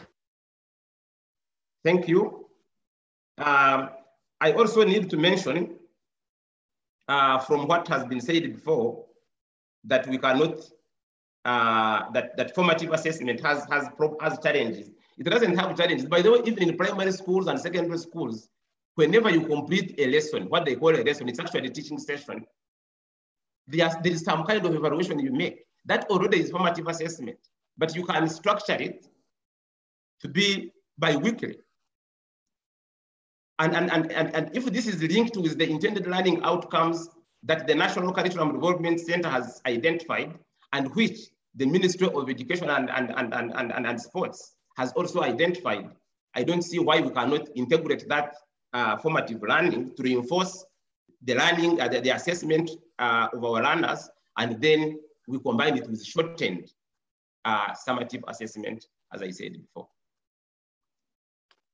Thank you very much, Professor. We will come back to you. Please remember to visit the Q&A uh, tab to respond to questions that are coming to you and the other panelists as well. I also mentioned that we have on the webinar Professor Paul Edward uh, Mugambi. He is the executive director of the Uganda Vice Chancellor's Forum. He's also referred to as the grandfather of mathematics in Uganda. Hopefully, we will have a chance to hear from him. But now we need to go to the presentation from our special guest for today. Dr. Kedrace Turyagyenda. She is the Director of Education Standards in the Ministry of Education and Sports. Prior to this, she served for 13 years as a Commissioner for Secondary School Standards, a tutor and lecturer of chemistry at National Teachers uh, College, Kabale, a founder head teacher of Kinyasano uh, Girls High School, and head of department and teacher of chemistry and mathematics at Bweranyangi Girls uh, Senior Secondary School. She holds a PhD in uh, education management, a master's of science from Leicester University, a bachelor of science in chemistry and mathematics with a concurrent diploma in education from Makerere University. She has also done a number of short courses in administration, procurement, training, and others. She has attended, facilitated, and presented papers on a number of national, regional, and international meetings and conferences. She's a very hardworking focused, goal and result oriented person who loves education with all her heart and puts in what it takes to ensure that every learner achieves his or her potential. She's a motivational speaker, God fearing person, and one of our uh, panelists did tell you that she's associated with the old SU and uh, she's a celebrated educationist. Dr. Turyagyenda, welcome. Uh, thank you. Thank you very much indeed.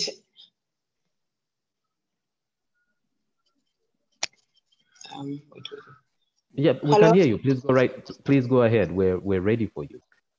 Excellent. Um, I'm I'm glad to be here uh, this morning, and um, I want to really express my great appreciation to the CASTLE team, but also to all the panelists for the great work they've done this morning in sharing on issues that are very, very, very pertinent for all of us, all of us who are participating today. So I'm really glad that we are able to meet in this way, in this new learning, uh, which COVID-19 has brought us into. Uh, as others have said, we would now be in a room, in a workshop place, but we are able to communicate. And so I'm really uh, grateful. I do entirely agree with uh, Lorna on a number of things. And I'm sure that as we move forward, we will see how do we actualize them so that um, some of the issues that she's brought up can be put in their right uh, context and be implemented. True, uh, education is a shared responsibility. And this responsibility sharing is for all adults. All adults starting with the parents and guardians and members of families, the school system, the head teachers, the teachers, the governance of schools, uh, school management committees for primary, um, uh, boards of governors and councils for higher education, the leadership at various levels, at national level, but also at local government level in our decentralized system, and even at the lower local government level. So education is a shared responsibility. And if we are to achieve what we desire to achieve, all of us need to come forth and be able to do our part. Um, educational learning, uh, as Lorna has said, and I would like to repeat also what the Minister of Education and Sports and the First Lady has said in her last two statements to the nation during COVID is beyond the four walls of a classroom. As it was highlighted in our keynote, the knowledge, the skills, the values, and attitudes cannot all be coined at school. They are both at home, in the community, and then at school. So when you look at educational learning holistically, then you realize that we have to do a lot more than we are doing right now. And I'm glad that CASTLE is putting together these thoughts. Um, in Uganda, I think most of us are running all the time, are trying to survive. And so we don't give enough time to think about issues that concern us, issues that are very critical for our young children, but issues that uh, we sometimes brush off because of other hassles of life. So CASTLE, I want really to celebrate you for putting that together. And that should work as a starting point for the rest of us, the adults, to see how do we contribute to our very, very precious gifts as a country, because our future is our children, and our children are our future, all of us. And so coming together to listen and to share and to discuss is a very, very big opportunity. I do agree with a number of discussants on what you've highlighted from Lorna's paper. And I was quite excited by Mr. Opio uh, for him to be able from the outside the ministry to share with you that actually the sector knows a lot of these challenges. And the sector has thought through a lot of them. And it's out of this that both the TVET policy and the teacher policy have been developed. So, Mr. P, I want to thank you for really bringing to the fore the efforts under TVET, the whole aspect of competencies and skills, and not just the skills uh, that are manual or psychomotor but the 21st century skills as well. And you highlighted it quite well. So um, I do agree with quite a number of, a, a lot of the things that Lorna highlighted and what the discussants have said. And I'm glad that our moderator has assured us that there will be a synthesis of what has happened today. And then we'll probably have another paper at the next level, which can be shared uh, with the people that are actively involved in the sector today. Going back to learning, uh, a lot of people, I think, as Lorna mentioned, have a narrow way of thinking, or could I call it a misconception, of what learning is and where it happens. One of the very, um, very standing thing that we meet in everyday life is that people think that learning just happens at school, just happens in a classroom. It's not true. Learning happens from type of conception of a little baby in the mother's womb, and learning goes on until you leave this planet Earth. It's a lifetime. So if learning is a lifetime, how do we take care of that group of probably three years up to end of university so that their learning can be holistic and their learning can be supported by the various stakeholders and adults who are supposed to contribute to it. Others also look at learning as from a person called a teacher. But who is a teacher? Is it just a person who has gone through a teacher training college or institution? Maybe not. The teacher is much more than that. The mother is a teacher, the parents, the siblings. So the teachers are more. And if we look at it from that, then we'll get more holistic learning.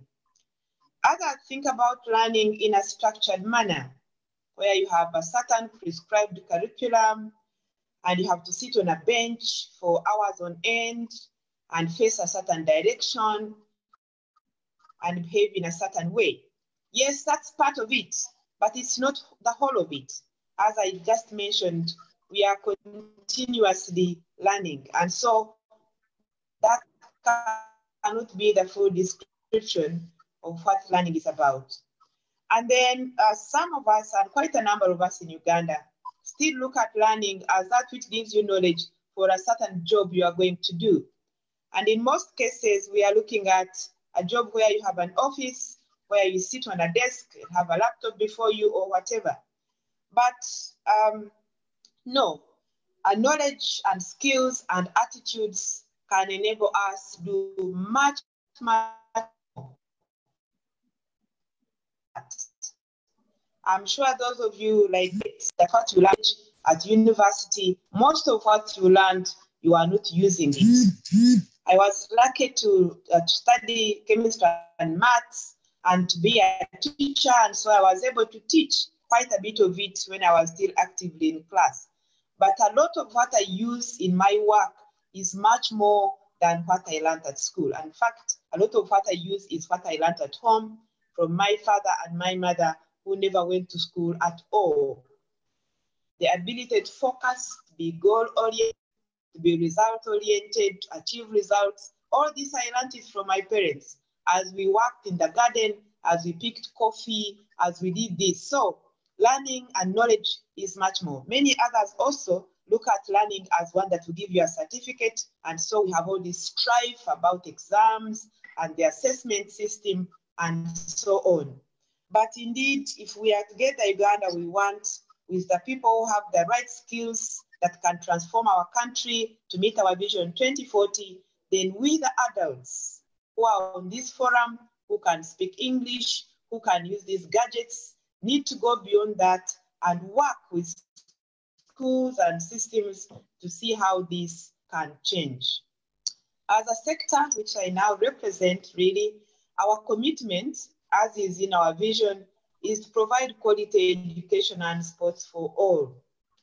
And as uh, I think Mr. Waguma said, we wouldn't want to see any child left behind. We would want to see every child move through. In fact, our unwritten philosophy as the Ministry of Education is that every child can achieve. Every child can achieve his maximum potential as long as this child or this learner receives learning in a conducive learning environment. And a conducive learning environment does not mean a tiled classroom. If that was possible, it would be great. But it's an environment uh, where this child is healthy, where this child is fed, where this child is known, the child is loved and appreciated as an individual, the child is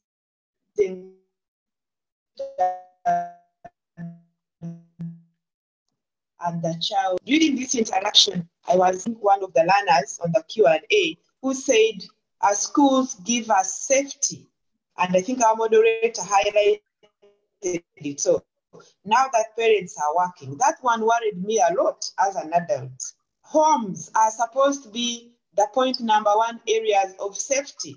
So if our children feel unsafe in our homes and feel more secure and safe at school, then we have an inverted society and an inverted way of doing things. And these are things that we need to start looking at nationally beyond the education sector and see how do we change them? How do we change them? So um, COVID-19, I'm glad that a number of you on the participation of this webinar today have highlighted the fact that although it came with challenges, it was a wake-up call for all of us. It was a wake up call for all of us to see how we have been taking things for granted, to see how unprepared we were, to admit that our disaster, emergency, and preparedness and response plan, which has been in draft for a long time, need to be picked up, dusted, and used so that we don't just prepare for external and natural disasters, but we prepare ourselves for continuity of learning. So uh, the challenges that have come with COVID-19 are good challenges because challenges help us to think better, to think more, and to think outside the box, as my brother Patrick Kaboyo has said. As you are aware, as a nation, our greatest challenge now which is a good challenge, as the president usually says, is that we have a very high growth uh, rate, population uh, growth. Having a 2.3 to 2.4 percentage per year of population growth is a big challenge. It's a good one, but it's a huge one. Because we have that rate and it does not tally, it's not in tandem with the rate of our economic growth. I know that many times we are told we are 6% growth, but in reality on the ground, I don't think so. So when we have that mismatch, we have all these about 1.5 million children being born to this country. It gives us as an education sector a moving target in terms of classroom provision, in terms of teacher provision, in terms of funding, in terms of you know, providing what we should to really bring up the quality education that we desire to have. So how do we manage this population growth to ensure that all our children are able to learn and learn effectively and acquire the right competencies that would make them useful as individuals, useful in their own communities at national level and beyond. So this is part of what motivated government to start our mass uh, programs of UPE and USE and UPOLET. And yet, when we started them, we were not extremely ready in terms of infrastructure, in terms of teachers, and so we have had struggles. However, it's against the same that government uh, introduced and passed the liberalization and privatization policy, which has brought a number of um, other uh, players on board. So we are happy as a sector that we have our partners in the private sector to hold our hand and work with us so that all our children can learn. And I would like us really keep this in view. We are looking at all our children. We are looking at almost 10 million children in the primary schools. And some of the areas which were mentioned, which the discussants mentioned, have come back to this. So we have all these students, 70% of them are living in the rural. The socioeconomic stand in the rural of our country is not the best. It's not where I grew up, where we had sufficient food, where we were able to grow coffee and sell it and pay fees. Our rural communities have changed in terms of their attitudes, their commitment to work, and the way they look at life. So when we have all these young children with us and we have this kind of disaster that came through COVID-19 and suddenly every child is at home, how do we progress? So I was happy to see that question and its response. The efforts government is making, are they adequate? No, they are not. First of all, it was our first time to venture there. So we are also on the learning curve. Home learning, homeschooling, um, uh, home materials for children to read. Who reads them with them? Are their parents able to read? No. A lot of our parents cannot read. But we had to make a step forward, and I'm glad uh, from the results we get, um, uh, many of our children are able to learn. So we have picked these challenges. We have, of course, limited online access. It has already been talked about in a lot of our communities. They don't know what we are talking about. In fact, to them, there is no, there is no new normal because they've continued their life as usual. They are out in their gardens, they are back home with their children, and so on. So, but can we move beyond this with this wake up call? Yes we can because now every one of us, and especially you and me, who are where we are in society, have realized that we need to do things differently and to be able to benefit everyone. One other challenge that we have as a sector, which I hope this COVID 19 will help us to really solve, is lack of motivation and commitment by our school systems. A lot of our public schools are not doing what they should. Actually, uh, one of the World Bank reports indicated that on average, a Ugandan primary school child does four and a half years of actual learning instead of seven. So there is a lot of absenteeism, there is a lot of um, uh, uh, uh, carelessness by the heads of institutions and the teachers themselves and the learners. I'm glad that uh, Philbert is here I'm sure he's thinking after so many months of children losing out, how do I motivate the teachers I lead to love what they do and do it with a passion and love the children they teach so that these children can have a future? So, in the new normal, we have learned a lot of lessons, and I'm thinking that we shall carry on with these lessons. I'm glad that we have such a kind of interaction today and that these thoughts we are now discussing can be carried forward and discussed at, at the next level and have our Uganda, have our country transform to what we want to be. There are already a number of efforts um, from what Lorna was saying.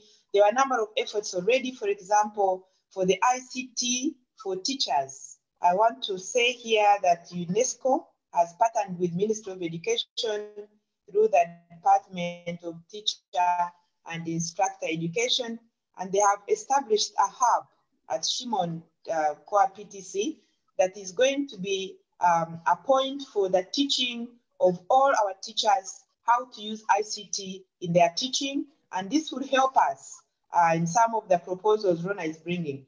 Once the teacher know what to do, then it will be easier for them to use the ICT uh, facilities, ICT materials, and be able to teach and help our children to learn. Our greatest challenge, which I would like all of us be part of, is the mindset change. Can we, the adults, unlearn and relearn? Can we look at life from another perspective? Can we look at possibilities and work towards making them real? instead of continually thinking, well, this can't work, this can't happen, this is impossible. I'm convinced that once we have a positive attitude, because we who are on this uh, webinar today and others we can mobilize, if we commit and participate in sensitizing our communities for mindset change, in helping our teachers, our school management leaders in mindset change, then we shall go a long way to achieve what we want to achieve. Is it possible? Yes, it's possible. And so um, I know that my time is not too much, but as I conclude, I think I want to make an appeal. I think most of us today who are participating are Ugandans. I want to appeal that we love ourselves, that we love this very unique country, the only one in the world that is as it is. When we love this country and we love our children, we shall do what it takes to make things change. And I know that it will happen. And the lessons we've learned, we are going to pick them, we are already picking them, and we are going to push them forward. For example, the issue of continuous assessment. As I think Philbert said, it has been on for some time, but now we are developing a policy on curriculum, assessment, and placement. And this is taking care of all those forms of assessment which we can use. And as you probably know, the recently launched lower curriculum uh, uh, that we had just started on for senior one has already a component of continuous assessment. So some of these are already on the way, but we want now to pick them up seriously through this learning and see how in the future, in case of something like this, we'll be more prepared than this and learning will continue. So once again, um, CASTLE leadership and management and the team that put this together, thank you very much indeed for these wonderful thoughts that we shall continue to think and debate on and get our children and our education sector improve. Thank you very much. Thank you very much, Dr. Turyagyenda, our special guest for this uh, webinar focusing on the education sector. Thank you for uh, your presentation. Uh, thank you for also responding to the questions that were coming to you through the uh, Q&A section. Uh, all panelists, please finish, visit that section. I have visited it and there's a question from Wambi Michael, and this goes to all participants. And this is what Wambi says. It is clear that not all the children have been learning because of the huge digital Okay, let me finish reading that question. Uh, yes, they haven't been learning because of the huge digital divide between rural and urban Uganda. Then Wambi asks all of us, what should we do? We are interested in finding out from you what should be done about this. On your screens right now is a poll question. Uh, the time was already running. I'd like to ask the technical team to increase the time on that poll, but also to mute one of the microphones that's causing feedback. And this is what the question is. Given that private schools and universities are mainly business ventures and may, co uh, may compromise educational quality when profits are at stake, should the government take a deeper role in how they are managed, including financial support? So please uh, go ahead and vote. The time has been increased for the voting.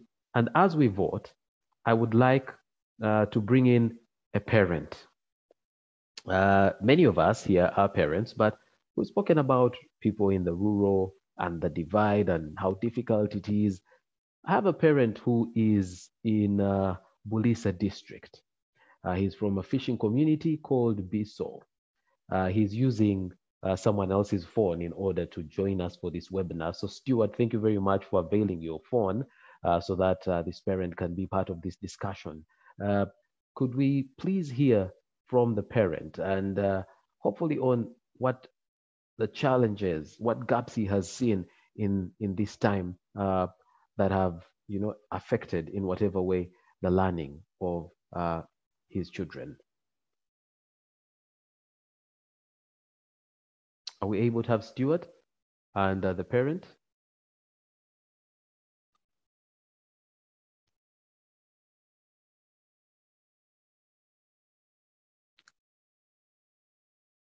Okay, as we wait to get them on, I'd like uh, Audrey. Audrey, can you hear me?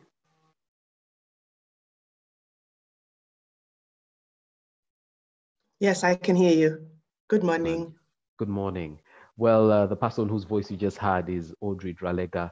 Uh, she she has a blend of national and international education experience, and uh, she's done trainings, uh, many trainings. But uh, I'll just point out early childhood learning, special needs education, curriculum, uh, mathematics, and curriculum science. And uh, she's uh, she designed and delivered training both at her schools in the UK and in the international sector. Audrey, so much has been said here, but let's start with this whole, you know, alternative learning, digital learning. Uh, is it really possible in Uganda?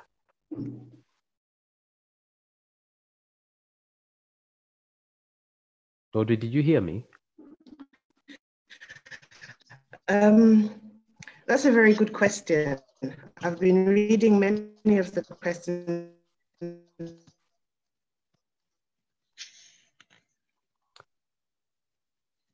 Audrey. As they've cropped up. Yes. Can you hear me? Okay, now I, I can. Let me stop my video because then you might hear me better. Can you hear me now? Right. Yes. Okay. Um, the, the question hinges on one thing, um, or several things that they're all that they're all connected. Um, how do we bridge within the cities? We have people who have phones and, and iPads and computers. In the villages, um, most people will plug their phone in when they're expecting to make a call or when they're expecting to receive a call because power is an issue. The cost of the internet is an issue. Now, um, one of the things that um, our sister, Dr. Kedrace, said that really struck me was this. Um, it's very easy, of course, to, to look at the problems and to see, well, and to get discouraged by them. But basically what she was saying was we need to look and say, well, how can we, how can we achieve what it is we want to achieve? How do we turn the dream into reality? Now, there's, there was some research some years ago, um, a, a chap called Dr. Sugata in India. Some of you will have read or heard of his research. He put a computer through a wall in a slum. He connected it to free internet, and then he stood back to see what children would do. Now, what they did was that they first of all said, can I touch it? And when they were told, oh, sure, it's on your side of the wall, you can touch it. Children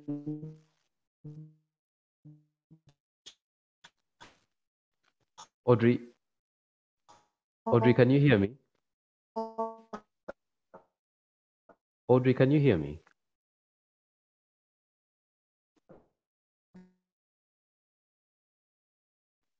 Okay. Themselves to browse. We do have to think very carefully about. Yes. Yeah, Audrey, hear me. My sorry, internet could, is not. Could you just repeat what the children did when they asked, "Can we touch the computer?" And they were told, "Yes, it's on your side of the wall." They started to experiment and within um, a day they had taught themselves to browse. Now the, those were children in the slums of india and it was a good long time ago. This was 2002 what we have to realize is that the children in the village the children in the slum have the same the same range of ability as the children who are in Muyenga and Kololo and all the rest of it, the same range of ability. The question is access.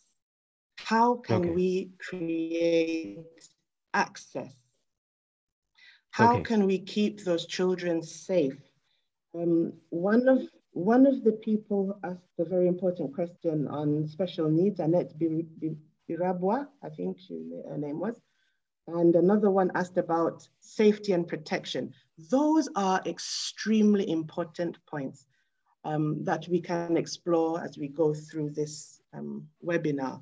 We, we mustn't leave out any parts of society. We cannot assume that everybody has a laptop or a, a smartphone or internet access or even consistent or regular power. Okay. All right. Uh, Audrey, we have to leave it there. Let me try one more time to get in touch with uh, Stuart, who was very kind to avail his phone to a parent in Buliisa. Stuart, can you hear me? Just a minute ago, I could see your icon and your microphone was muted. Okay. Yes, Stuart, I can see that you you are back on my screen. Uh, your audio is not enabled. If the team could just help you get your audio enabled. Well, just like we've said, uh, there are real challenges about uh, in relation to connectivity, especially as you move further from urban centers. And uh, Stuart is in Buliisa. Okay, unfortunately, we haven't been able to make that connection. I'll keep monitoring it. And uh, if we still have time and that connection is made, I will go over to Stuart. Uh, now, very quickly, we have a number of questions that have come in and would like to thank you all for your participation. Uh, Mrs. Magara, I know you've responded to some of these questions, but uh, since we've spoken a lot about, you know, uh, uh using the internet and, and the tools there, Michael Kawoya asks, do you believe the consumers of remote learning services will adjust to it and accept to pay for the service? How can the gaps in the remote learning model be mitigated against to enable it gain quick acceptability by both parents and learners? And that acceptability goes as far as the cost. And uh, you had Patrick, certain times you have to make a choice between uh, connecting to the internet for your child to learn and providing food. Mrs. Magara? Thank you. Thank you, Gabriel. And uh, all the panelists for the discussion that has uh, been taking place. Many of the questions, like you say, Gabriel, uh, around the um, issue of e-learning and the accessibility of, of this um, network and, and all the other facilities that are required for e-learning and whether or not the mind uh, set will change as often as or as fast as we want it to. Now, just, just to say that, look, like uh, Dr. Kedrace mentioned, we have had challenges um, even before COVID-19 and the ministry has been trying to address them. Like she mentioned, our growing population continually presents a moving target as far as planning and, and uh, effecting those plans takes place. Now, in the midst of all that, you have COVID show up and the whole world is shut down and there's a total disruption of everything, including the, the, the sector of education. And so we want to be able not just to, to carry on what has been happening in the past and try and address the issues of the past per se, without considering the fact that we have a new dynamic altogether now. Um, like uh, Professor Mugisha mentioned, we don't know how long this scenario is going to take place. How long are we going to be sh shut down? Nobody knows. Um, and so we need to prepare and plan like we're going to be shut down. Schools are going to be shut down for a long time. So the question is, what do we have now that we can harness and address the situation that we have now? What is feasible in the midterm and the long term? So we, we need to, to kind of address our minds to not just the past, but what the situation pertaining now. Yes, we can say, look, going to school and having classes is the best mode of teaching. Agreed. But currently, what do we do? We're shut down. Do we stop teaching? Do we stop learning? Do students stop? Maybe. Um, and so we need to look at what is available. The challenge that has present that COVID has presented now has brought us to a point where we realize the Ministry of Education alone will not be able to solve the problem of learning, of education in our country it has to be a collaboration of several players. We need government to set in place, uh, review the policies and the enabling laws to be able to bring in the private uh, sector to be right. a key player in, in resolving these issues, in addressing these issues. We need, if, if like uh, Dr. Audrey mentioned, access is key. And uh, I think it was also one of the panelists who mentioned that the radio station, the, the signal doesn't go beyond the town centers. So one of the key considerations we need to look at is how can we invest in infrastructure? Not just government, but government and the private sector. How hmm. can we come to the table, look again at the infrastructure we have, and make sure we roll it out across the country? What is it going to take? Right. And, and we're not looking at just the town centers, we're looking at the rural, rural places where um, a radio is, is, is a new thing. It's a, something that's not um, available to everybody. But the example that Audrey gave is, is very pertinent. We can have, those are the virtual classrooms I was talking about. You can have a screen. I have seen kids in the rural places coming around a small TV during football season, and they're watching a World Cup and the whole village is around that, that little TV station. Can we not do that for education? Can we right. not, as a ministry, together with the private sector, have a huge screen once a day where children in the community can come around and have learning happen? So there, there are things we can discuss, but they will not be resolved by one sector. It's going to be an intersectoral approach where we look at what can be provided, how can we roll out the structure, how can we assess? Remember, it's not just delivery of material. We mm-hmm. need even the assessment. How does the learning right. happen? So who are the partners in that assessment? Parents have to come on board. So we need a parent, uh, government, private sector um, discussion. We need to have that discussion going rather than right. leave it to one sector of government to handle. Thank you, Mrs. Magara. Uh, Robinson did ask a question around uh, assessment, and if you could uh, go to the Q&A section and just respond to Robin if you have Robinson if you haven't done so yet. Uh, unfortunately, we have to move quickly. So, uh, Mr. Mr. Kaboyo, for a lot of this, there's there's a cost required. Are, you know, private schools willing to take on these extra costs? And if I may put it in the words of Mr. Ephraim Tumusime, can the remote learning business model be a viable, uh, feasible option for social entrepreneurs in the education sector? Mr. Kaboyo.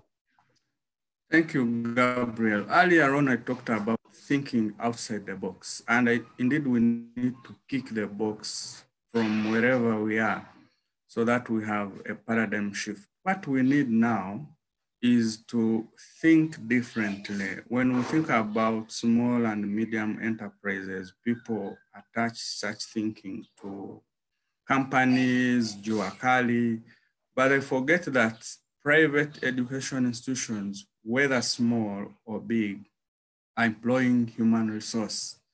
And all we are discussing hints on the capabilities and capacities of the human capital that Ugandans have.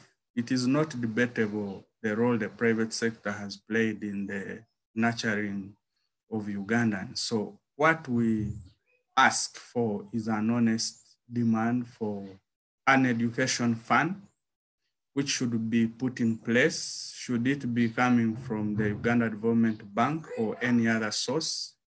so that whoever has a number of students or a number of Ugandans to pay in terms of salary, in terms of utilities, in terms of wage development, that becomes the source. Because for sure we know that even the government is stressed in terms of accessing those resources. But also going forward, I think we need to innovate and think about how we are going to align our budgets. I would now expect that uh, government would be looking at uh, expenditure lines that have money line, which should be recalled to ensure that we do fast things fast. And this I mean there should be a mechanism to establish exactly how many candidates we have in this country and where are they? What is the distribution? Are they too many in private schools or there are many in government schools? And if that is the case and we want to bring them back to school, can we share the classrooms that uh, are empty in a neighboring school to maintain the social distance SOP? And if that happens, then that is participation and partnership. We need to get out of the boardrooms and listen to the other voices that are bringing alternative views. In terms of having this paper that Lorna has presented, it should ignite new thinking. It should spark the readiness that we need as a country. Imagine this has been COVID-1 attack. If we have the second COVID attack and things have gone to the worst, what are we likely to see? We are likely to see an element of lack of readiness. And when we talk about readiness, the first component for being ready is the financing. So we need the finances to be able to align the gaps that we have. And indeed, right. the public-private partnership can be reinvented to ensure that we are all at one. Okay, thank you, Mr. Kaboyo. Mr. Baguma, if you could tell us very briefly how the teachers have responded. Uh, thank you very much, Gabriel. First of all, like I told you, when the president first made an address on 18th March, we had only two days to close all the institutions. And um, there was no option but to close. The, the, the schools which have resources managed to prepare some packages for the learners. Sorry about that feedback. Uh, technical team, could we mute everyone apart from uh, Mr. Baguma and myself? Mr. Baguma, go right ahead. To go with at home, uh, and uh, some of the schools have managed to continuously send uh, work to their learners via the social media. But of course, like I told you, there are some who are completely left out because they don't have access or they have to visit their neighbors to make sure they get something to, to, to help them. On the case of the teachers, the, the, the teachers right now are at home. They are locked down. Some of them have helped the, the, the, the, the learners within their reach. Mm. Others have been waiting to assist and support in the radio uh, lessons. But this program did not take off per se because I think there was a hiccup in terms of budget and it did not uh, take off as it was planned for earlier in some parts of the country. All right. So the, the, the, the, the, the only challenge is now uh, as we think of what do we do to move and live with COVID-19 because obviously we cannot talk of post COVID-19 when there is no vaccine. And when they talk of um, all these ideas that are highlighted in this document, like we said, they are very good ideas that when consultation is done, wide consultation, we can come up uh, and have a kind of readiness and change the status quo uh, in the current situation. Okay. We need to support the teachers, first of all, also in ICT. And that calls for adjustment of training programs. We need also to have an investment in building a national portal for uniform online distance learning that puts into consideration the, uh, the different learning options including the home environments, uh, and have the abilities improved for all learners to benefit from such an eventuality because okay. this has been an eye opener. All right. Without going deep into the detail, uh, at the beginning of this year, teachers went through a process of retooling uh, in order to be able to, you know, deliver the new curriculum for lower secondary, and that took just a couple of days. What, in your estimation, uh, what period would be needed to do this training of teachers to uh, move to the e-learning? Of course, training must be continuous because you cannot master each and everything in a certain specific given time. And therefore, we need to have the initial training and then the training remains continuous okay. as a kind of professional development.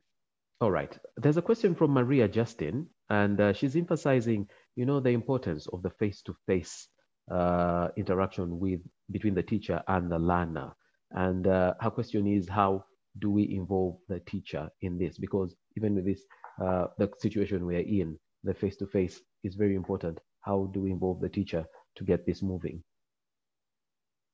In this arrangement now, we may need to think of um, having an arrangement within the village or within the homesteads to have that kind of interaction because we are not supposed to move uh, here and there.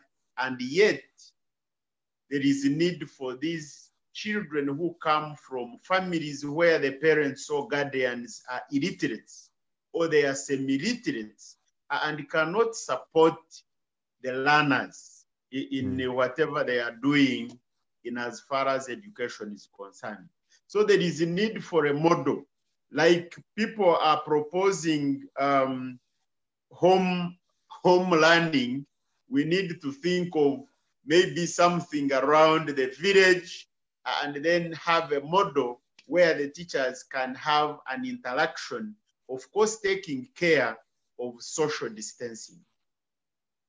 Okay, thank you very much. Use the social places. Okay. Like uh, churches, like a playground there uh, and have that face to face. Okay. Thank you, Mr. Baguma. Professor, uh, Professor Mugisha. Professor Mugisha, are you there? I was muted. Uh, I can okay. hear you. All right. Uh, I'd like to begin with a question from uh, Usinje Conan. He asks uh, the National Council for Higher Education wants universities to get strong on online education and training. Do you think this is realistic in Uganda? What are the likely opportunities and challenges? Uh, thank you very much, uh, Conan. Um, yes, it is very feasible. And I think we have just delayed to emphasize this. This should have come a lot earlier, um, much earlier, because universities need to network. How mm. do you network without having some kind of online capabilities? How do you do this? Secondly, we know that in universities, we are not only benefiting from the teachers that are there giving instruction, we are benefiting from other professors in other countries. And we also have online courses that we build within our curriculum to help us achieve the intended learning outcomes. Many universities are already used, uh, helping their students to, to, to, they are integrating Coursera uh, courses. Uh, they are integrating cubicle courses like we are doing at Cavendish University, Uganda. So this is something that all universities should do. Is it feasible? It is feasible. The all way right. to do it, you don't have to begin with a complicated uh, online learning platform. Just begin with the simple ones use Google Docs, use email to share content, and help, of course, teach you, train your students to be self-directed learners, and then uh, build a platform through even network, collaborative network, building collaborative networks. It is something that universities can do in a phased manner. Early in the lockdown, there is a university, UCU, that attempted uh, to, you know, uh, administer examinations and uh, they were stopped. Uh, how will the aspect of examinations be handled? And the president did add a question, you know, uh, how will the invigilation be done? You see, invigilation can be done physically, but also online, electronically. You can actually do invigilation. Uh, it depends on, the, on, on how we set. I want to emphasize, even if Cavendish University of Uganda, for instance, where I work, does not administer online exams. Even for our distance learning students who use the, the, the, platform, they come and sit exams with their counterparts who are on the contact mode. However, I know that it is possible to do online assessment. I have taught at Queen Margaret University and at Keele University, and we're actually giving online uh, assessment and even ensuring that the candidate across is the, is the very one answering the examination. So this, this can be done but of course, we need technological uh, preparation. We also need to train our teachers because I was trained to do this. All right. We also need to know that at a postgraduate level, uh, a lot of formative assessment is the one that is in fact needed rather than summative assessment. So um, I, I, think Uganda needs to get ready actually for online assessment mm. because it is actually possible. And the area we train ourselves and equip ourselves to do it, the better. All right. Uh, Mr. Opio, you have attracted a question from Professor Barnabas Nawangwe. He asks, he says first that the point on the need to promote uh, TVET cannot be overemphasized, especially with our fast growing population. How do we achieve success with the extremely big dropout rates at primary and secondary schools? Is there something we are not doing right at these levels of education? Thank you Mr. so much. All right. Yes. Yeah, and uh, and thank you so much, uh, Professor. I think there are certain things we are not doing right at the moment, and that can change. One is that our education system is not skills oriented at all. It's not oriented towards uh, competences. For instance, if somebody went up to primary seven, other than reading and writing, the person doesn't have any other skill at all. So essentially, it's easy to drop out. But if competences are defined at various levels, then it's possible. It wouldn't be dropout at all. You would have just completed a particular phase of education, and then you can rejoin at a later stage. You can go and work uh, because learning is lifelong.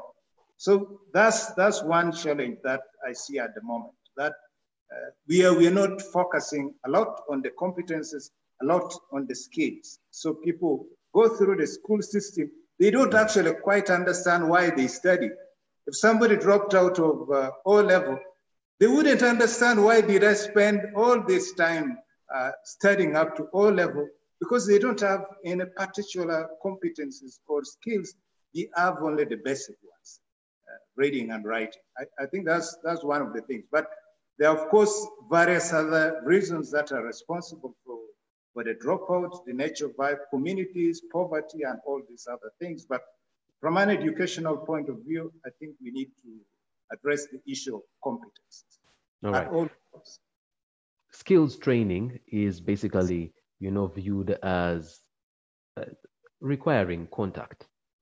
And therefore, when we have a lockdown, uh, isn't it even affected beyond the other? Because how exactly would e-learning be done for, you know, skills development? Yeah, I, I think uh, you, you ask an interesting question, but skills, there are various kinds of skills. Uh, even during this time that we are at home, a lot of non-formal training is going on. A lot of people are learning how to cook uh, new uh, types of food. Uh, a lot of people are learning various skills. So even uh, practical skills can be learned online using YouTube videos, using uh, tutorials, but also other very important kind of competencies like behavioral competencies, the way to to contact yourself uh, even as a person.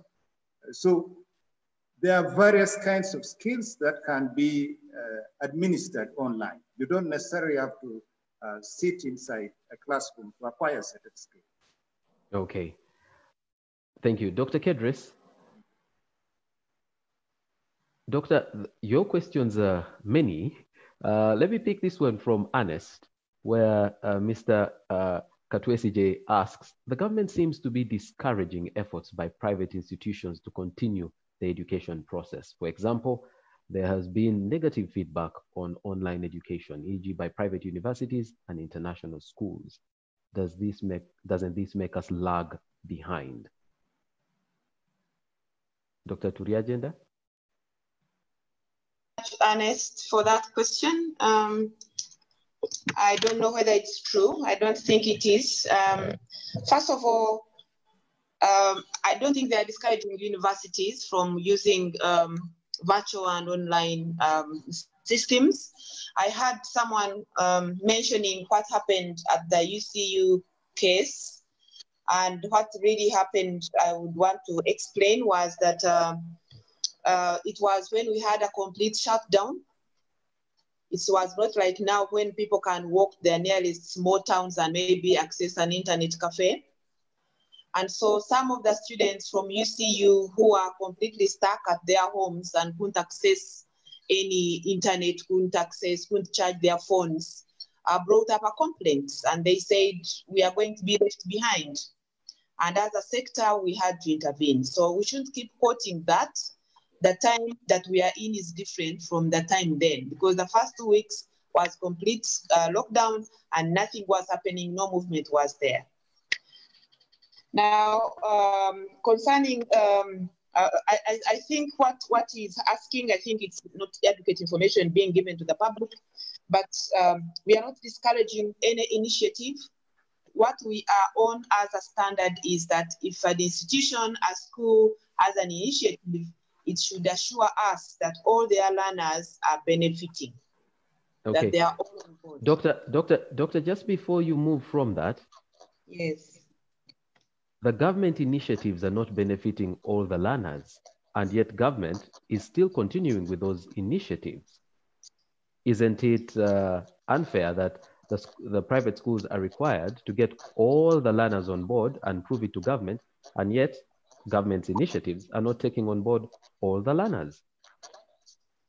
Um, thank you. I don't know which initiatives, but I want to, to, to, we can say use, something about. We can use the TV, the radios, the materials that have been sent out. Not everyone is getting them. I want to use that very example. Um, as the, I think Philbert or, uh, or Patrick, I don't know who said, when the shutdown came on and it was very uh, instant, uh, some schools and some institutions made efforts to keep their children learning. And those of you are in Kampala, I'm sure you saw lessons on televisions and uh, uh, um, Central, Central Radio of Uganda started a program. And as a sector, we realized that um, that was benefiting a very, very small group of learners.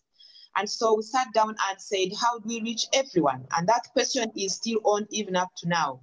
And we decided we could use three modes so that we can reach everyone. So the first mode was that those who could access information on television would go ahead with it. But a very big uh, number, more than 70% from the statistics available, could access radio. And that's when we introduced the radio component, not just uh, in radios here in Kampala, but radios across the country. And then the third mode was that there are some even who can't access the radio. There are some where the radio belongs to daddy. He goes with it to the drinking place and so once the radio is off, the children cannot learn. So we said, okay, in view of that, let's also produce some uh, set of study materials. And we got into the print. So the three modes were actually supposed to reach everyone. Clear instructions were given to local governments when we sent out the print material. And we said prioritize the least served by both radio and television. But of course, they were less than we, we had intended because of the finances, and they have had issues of accessibility. But that is still our target. We want to reach All everyone with as many modes as possible.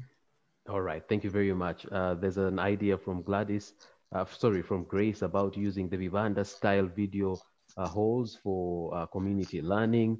Uh, and there are many other suggestions, good suggestions from many of us. Uh, we'll continue taking note of what's taking place in the Q&A section, and uh, it will be included in the report. Okay, I've been informed that the parent who is in Buliisa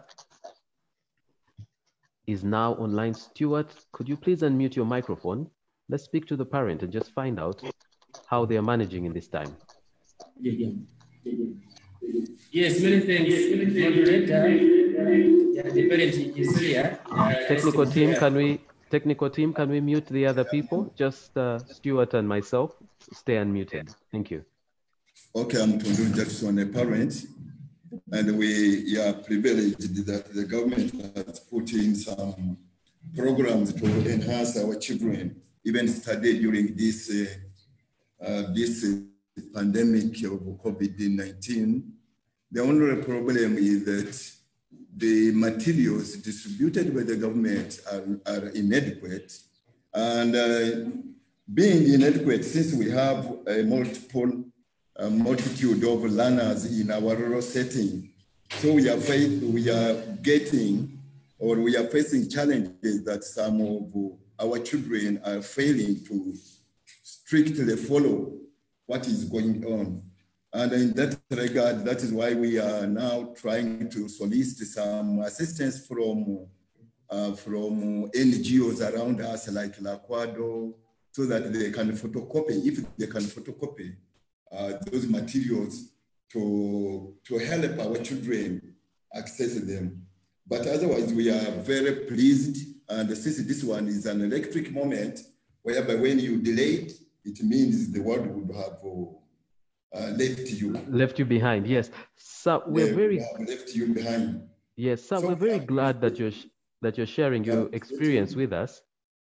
And I'd just like to ask, thank you for sharing your experience with us. I'd just like to ask, how exactly, for example, you as a parent, what are you doing to ensure that the learners who you know you take care of stay, you know, uh, the course of their learning? how, what exactly are you doing? Uh, when the program is on, some uh, some of us who are a bit educated, we sit with our children and start following what is taking place over the radio. Because for us here, we cannot access the TVs and so on. So we are using the radios, but it now calls for the parent to be very keen in uh, making that he puts the direction properly.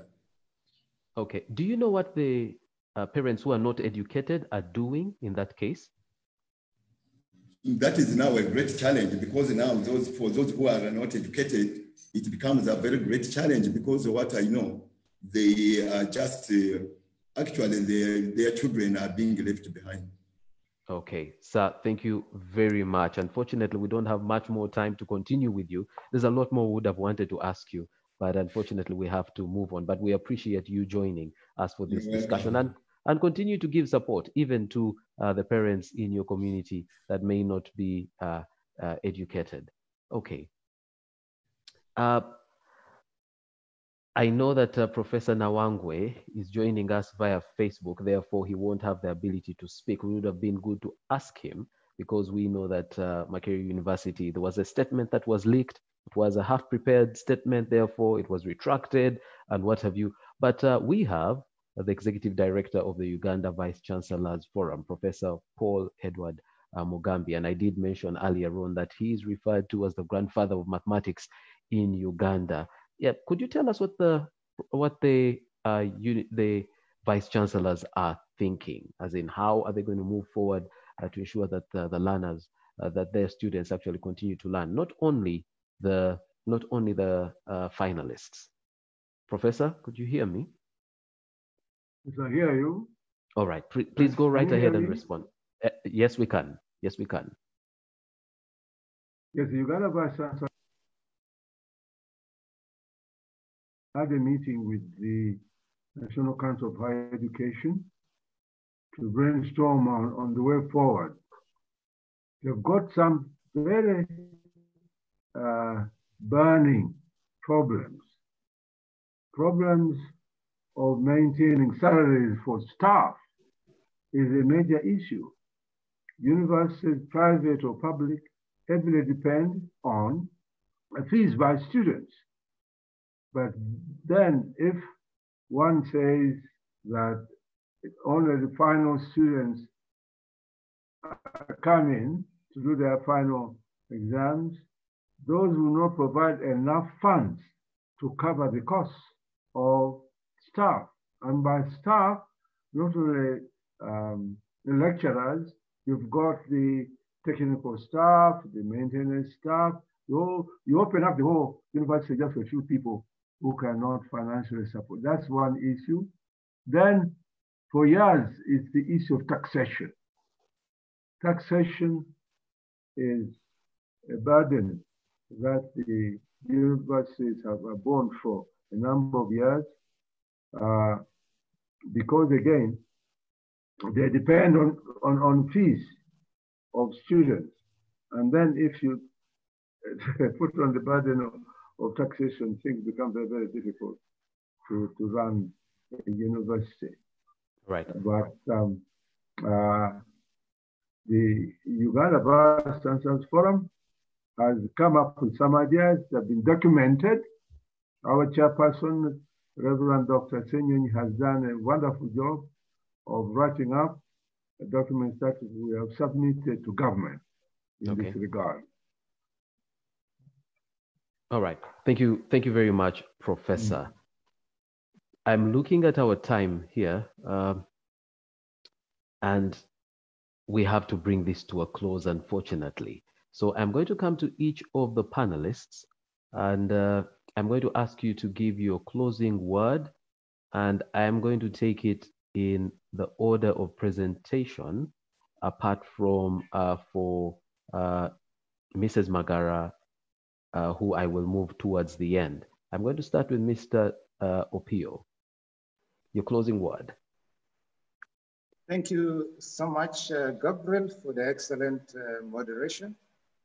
Um, I'm quite Thank you, sir. Thank you very much. Excited uh, to be part of this. Uh, thank you uh, to the listeners and all the participants. Very useful insights we have got. I think as uh, policymakers and people who have a role to play in the education space, this has been extremely informative uh, just to re-emphasize again, we have a clear agenda. We are moving towards Vision 2040. Uh, within the education sector, our priorities are directed uh, towards that. So thank you so much. Uh, let's keep the conversation uh, going. And, and we together we can make our country better. Let's stop this business of complaining. Thank you so much. Thank you, thank you. Let's continue the conversation. If you visit the Facebook and the Twitter pages of uh, CASTLE. Those conversations are going on. But uh, for those of you who are asking about the presentation, you will find it on the CASTLE website. And uh, I will read that website to you before we end for the day. I just need to uh, get it uh, so that I read it accurately. So I will be uh, referring to that very soon. Mr. Kaboyo, over to you. Thank you, Gabriel, and to thank the Castle think tank for this effort our call from the private sector is that uh, such meetings should be not once in a while, but we need more of these to put issues stable.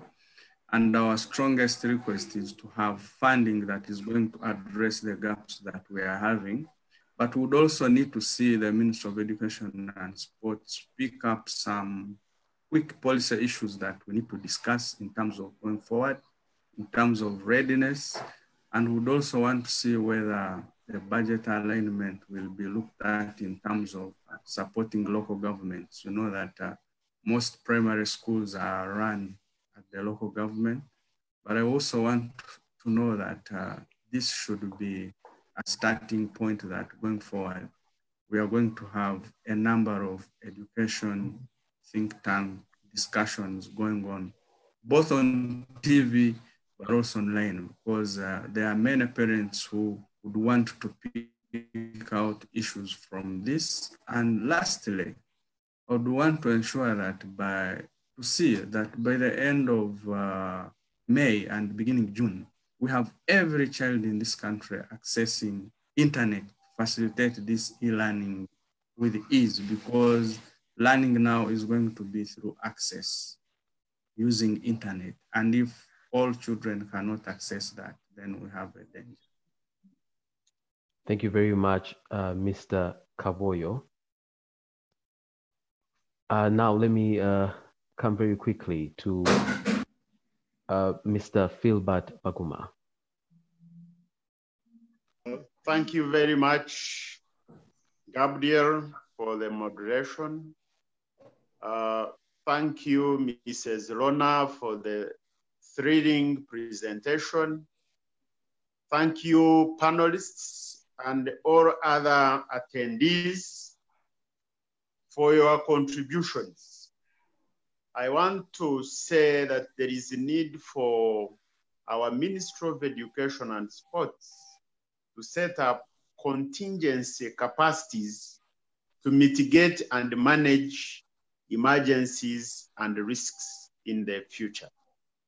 There is also need to invest in developing the infrastructure for e-learning so that in any case we get another pandemic or an emergency, we are not caught off guard as it were this time.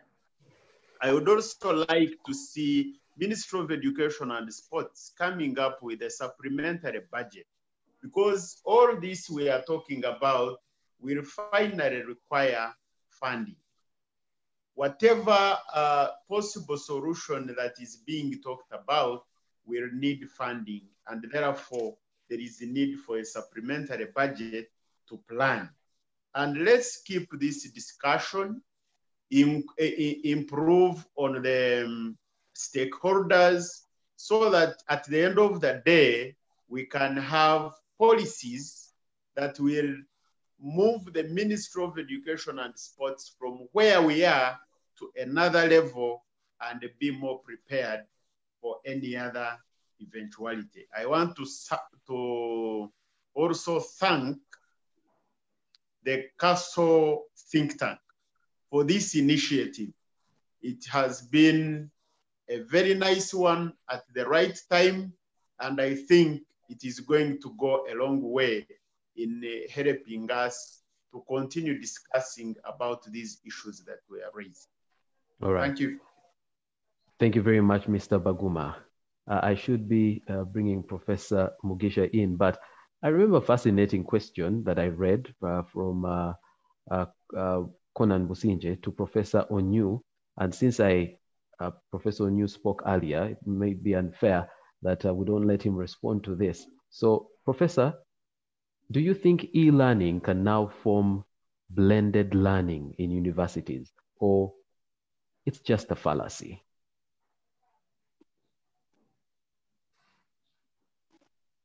Professor? Uh, thank you very much. I think presenters, hello? Yes, please go right hello? ahead. We can now hear you. Can you hear me? Yes, we can. Yes, uh, thank you very much. I, I, I, think, yes, I think the way to go is actually e-learning, but I think we need um, a more blended approach because already, even in the past, uh, many people have tried to use the blended approach. For example, in, in many university institutions, I know that the lecturers send materials online and then in addition to that, they have face-to-face sessions and so forth. So I think that um, a blended approach to, uh, to learning is, is very possible. And I think we can um, interrogate it further so that we can see uh, what combinations of, of delivery modes can best give us the, the best results. So yes, I think it is a very good approach. Professor, thank you very much. Now let me go to uh, Professor Mugisha. Uh, your closing word. Uh, thank you very much, moderator. And I thank um, the leadership of CASTLE uh, think tank uh, for organizing this and, and also the, the speakers that we've had.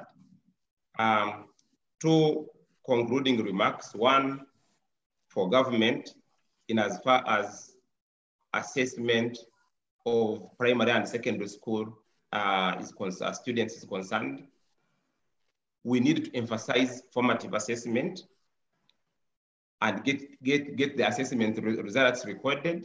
We also need to shorten the duration to reform the summative assessment. I have talked about UNEB delegating its role to district examination boards that can be created so that you can have summative assessment at P3, P5, and P7 instead of P7 only, at senior two and senior four instead of senior four only. So that in events like this, we are able to be able to promote students to the next level, but also waiting for uh, keeping a student studying in order to do final uh, exams at P7 after seven years, uh, I think we could do better than that. And for universities, I think governments should not discourage universities that are coming up with solutions uh, and interventions uh, to help uh, academic delivery to continue, but should in fact support them. We realize that it does us no good to shut down teaching and learning when other countries, even in our neighborhood, are actually continuing to study. So what should we do? Let's embrace technology. Let's encourage those who already have solutions to work with those without solutions so that we can bring up our higher education institutions to perform at global standards. There is no way we can shut down. And, right. and I think the area we, uh, we, we, we adopt this transition and get it guided by the National Council for Higher Education, which by the way is being very well. I must commend our, our executive director, Professor Okwakol, and, and the team that she's working with. The area we adopt this, the better for the higher education uh, sector. I thank you. Thank you very much, Professor. Uh, let's go over to Mrs. Magara. Thank you very much, Mr. Iguma, for the great moderation you've done. Uh, the presenters for the critiquing of the document and, and the great feedback that has come through. And also for CASTLE for giving us the opportunity to look ahead considering the challenges that we're experiencing today. My parting comments would be that the way ahead is collaboration. No one institution, whether government or the private sector alone, will be able to forge a productive way ahead. We need to collaborate the vision of the ministry is quality education and sports for all. The idea is to pre prepare and, and train a manpower that will provide um, that will provide um, opportunity for government to meet the needs that we have. There are several areas that we need to look to concern, concerning the situation we are in. One, continuity of learning. Two, materials, access of materials, through quality of learning, then the manpower development and the quality of manpower that will come through as we take this next step. And to have all that happen within the confines of that have been presented by COVID, we are going to need collaboration. And therefore, I'd like to ask that together as government, as the private sector, as parents, we come to the table and thrash through all these discussions and, and suggestions that have come forward because each one of them has an effect um, mm. on society, has an effect on different players. We may suggest e-learning, but what's the impact on the rural community? What's the impact on the ICT and the telecom companies? What's the impact on right. taxation on the city? So there has to be a synergy of, of effort that takes into consideration the impact on, on the whole of society. That okay. can only be done as we are working in collaboration. So my parting shot is let's collaborate. Thank you very much. Let us collaborate. Dr. Kedrace Turyagyenda.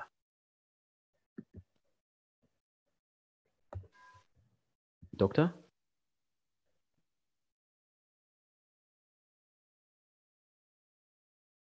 Dr. Turyagyenda, our special guest, can you hear me? Can you hear me now? Yes, now we can. Oh, great. Um, one, I would like to thank CASTLE for this organization for bringing us together. Thank you, Lorna, for the very insightful presentation and your great comments. I can't agree with you more that collaboration is what we have to get to. We have to look at ourselves as one people, one Uganda, one country, one, one people with one aim of making sure children are learning. And once that is in, then there is no they and us. It's all of us. As we are all aware, um, our quality of education was our niche as a country in the region of Africa and beyond for a long, long time. We have to pick ourselves up and get there where we used to be. And I think this is possible. So I'm confident that all these that have come out will have a way of having them discussed. As I sat here and listened, I thought how I wish uh, many other people that sit on top management and other areas had been able to be brought on board to access uh, the conversations that have gone on. So I'm looking forward to the progress of this conversation after here to get many more people so that we get tangible outcomes out of the thinking and the discussion that we have had today. I was excited to hear my professor Mugambi who taught me maths and see that he's growing strong. Yes, we can be more efficient, we can be more focused and be able to achieve more, whether at the lower uh, education levels, but especially at the university levels. And I really want to challenge universities. We need to come out and set an example of how e-systems can work for hmm. continuity of learning. Thank you Yes. very much. Thank you very much. And I will just pick up from what Dr. Turyagyenda our special guest has ended with. A lot of research is being done, and many times our research is donor driven. Our research does not look at the problems we have as a country and generate solutions for those problems. Let's focus our research on fixing the problems we have as a country. And yes, in this time, if we get certain things wrong, we can blame it on COVID. But uh, let's try. Let us try. Would like to thank all of you for joining this webinar. I hope it has been fruitful for you. There will be a document that comes out as a result of the discussion we've heard.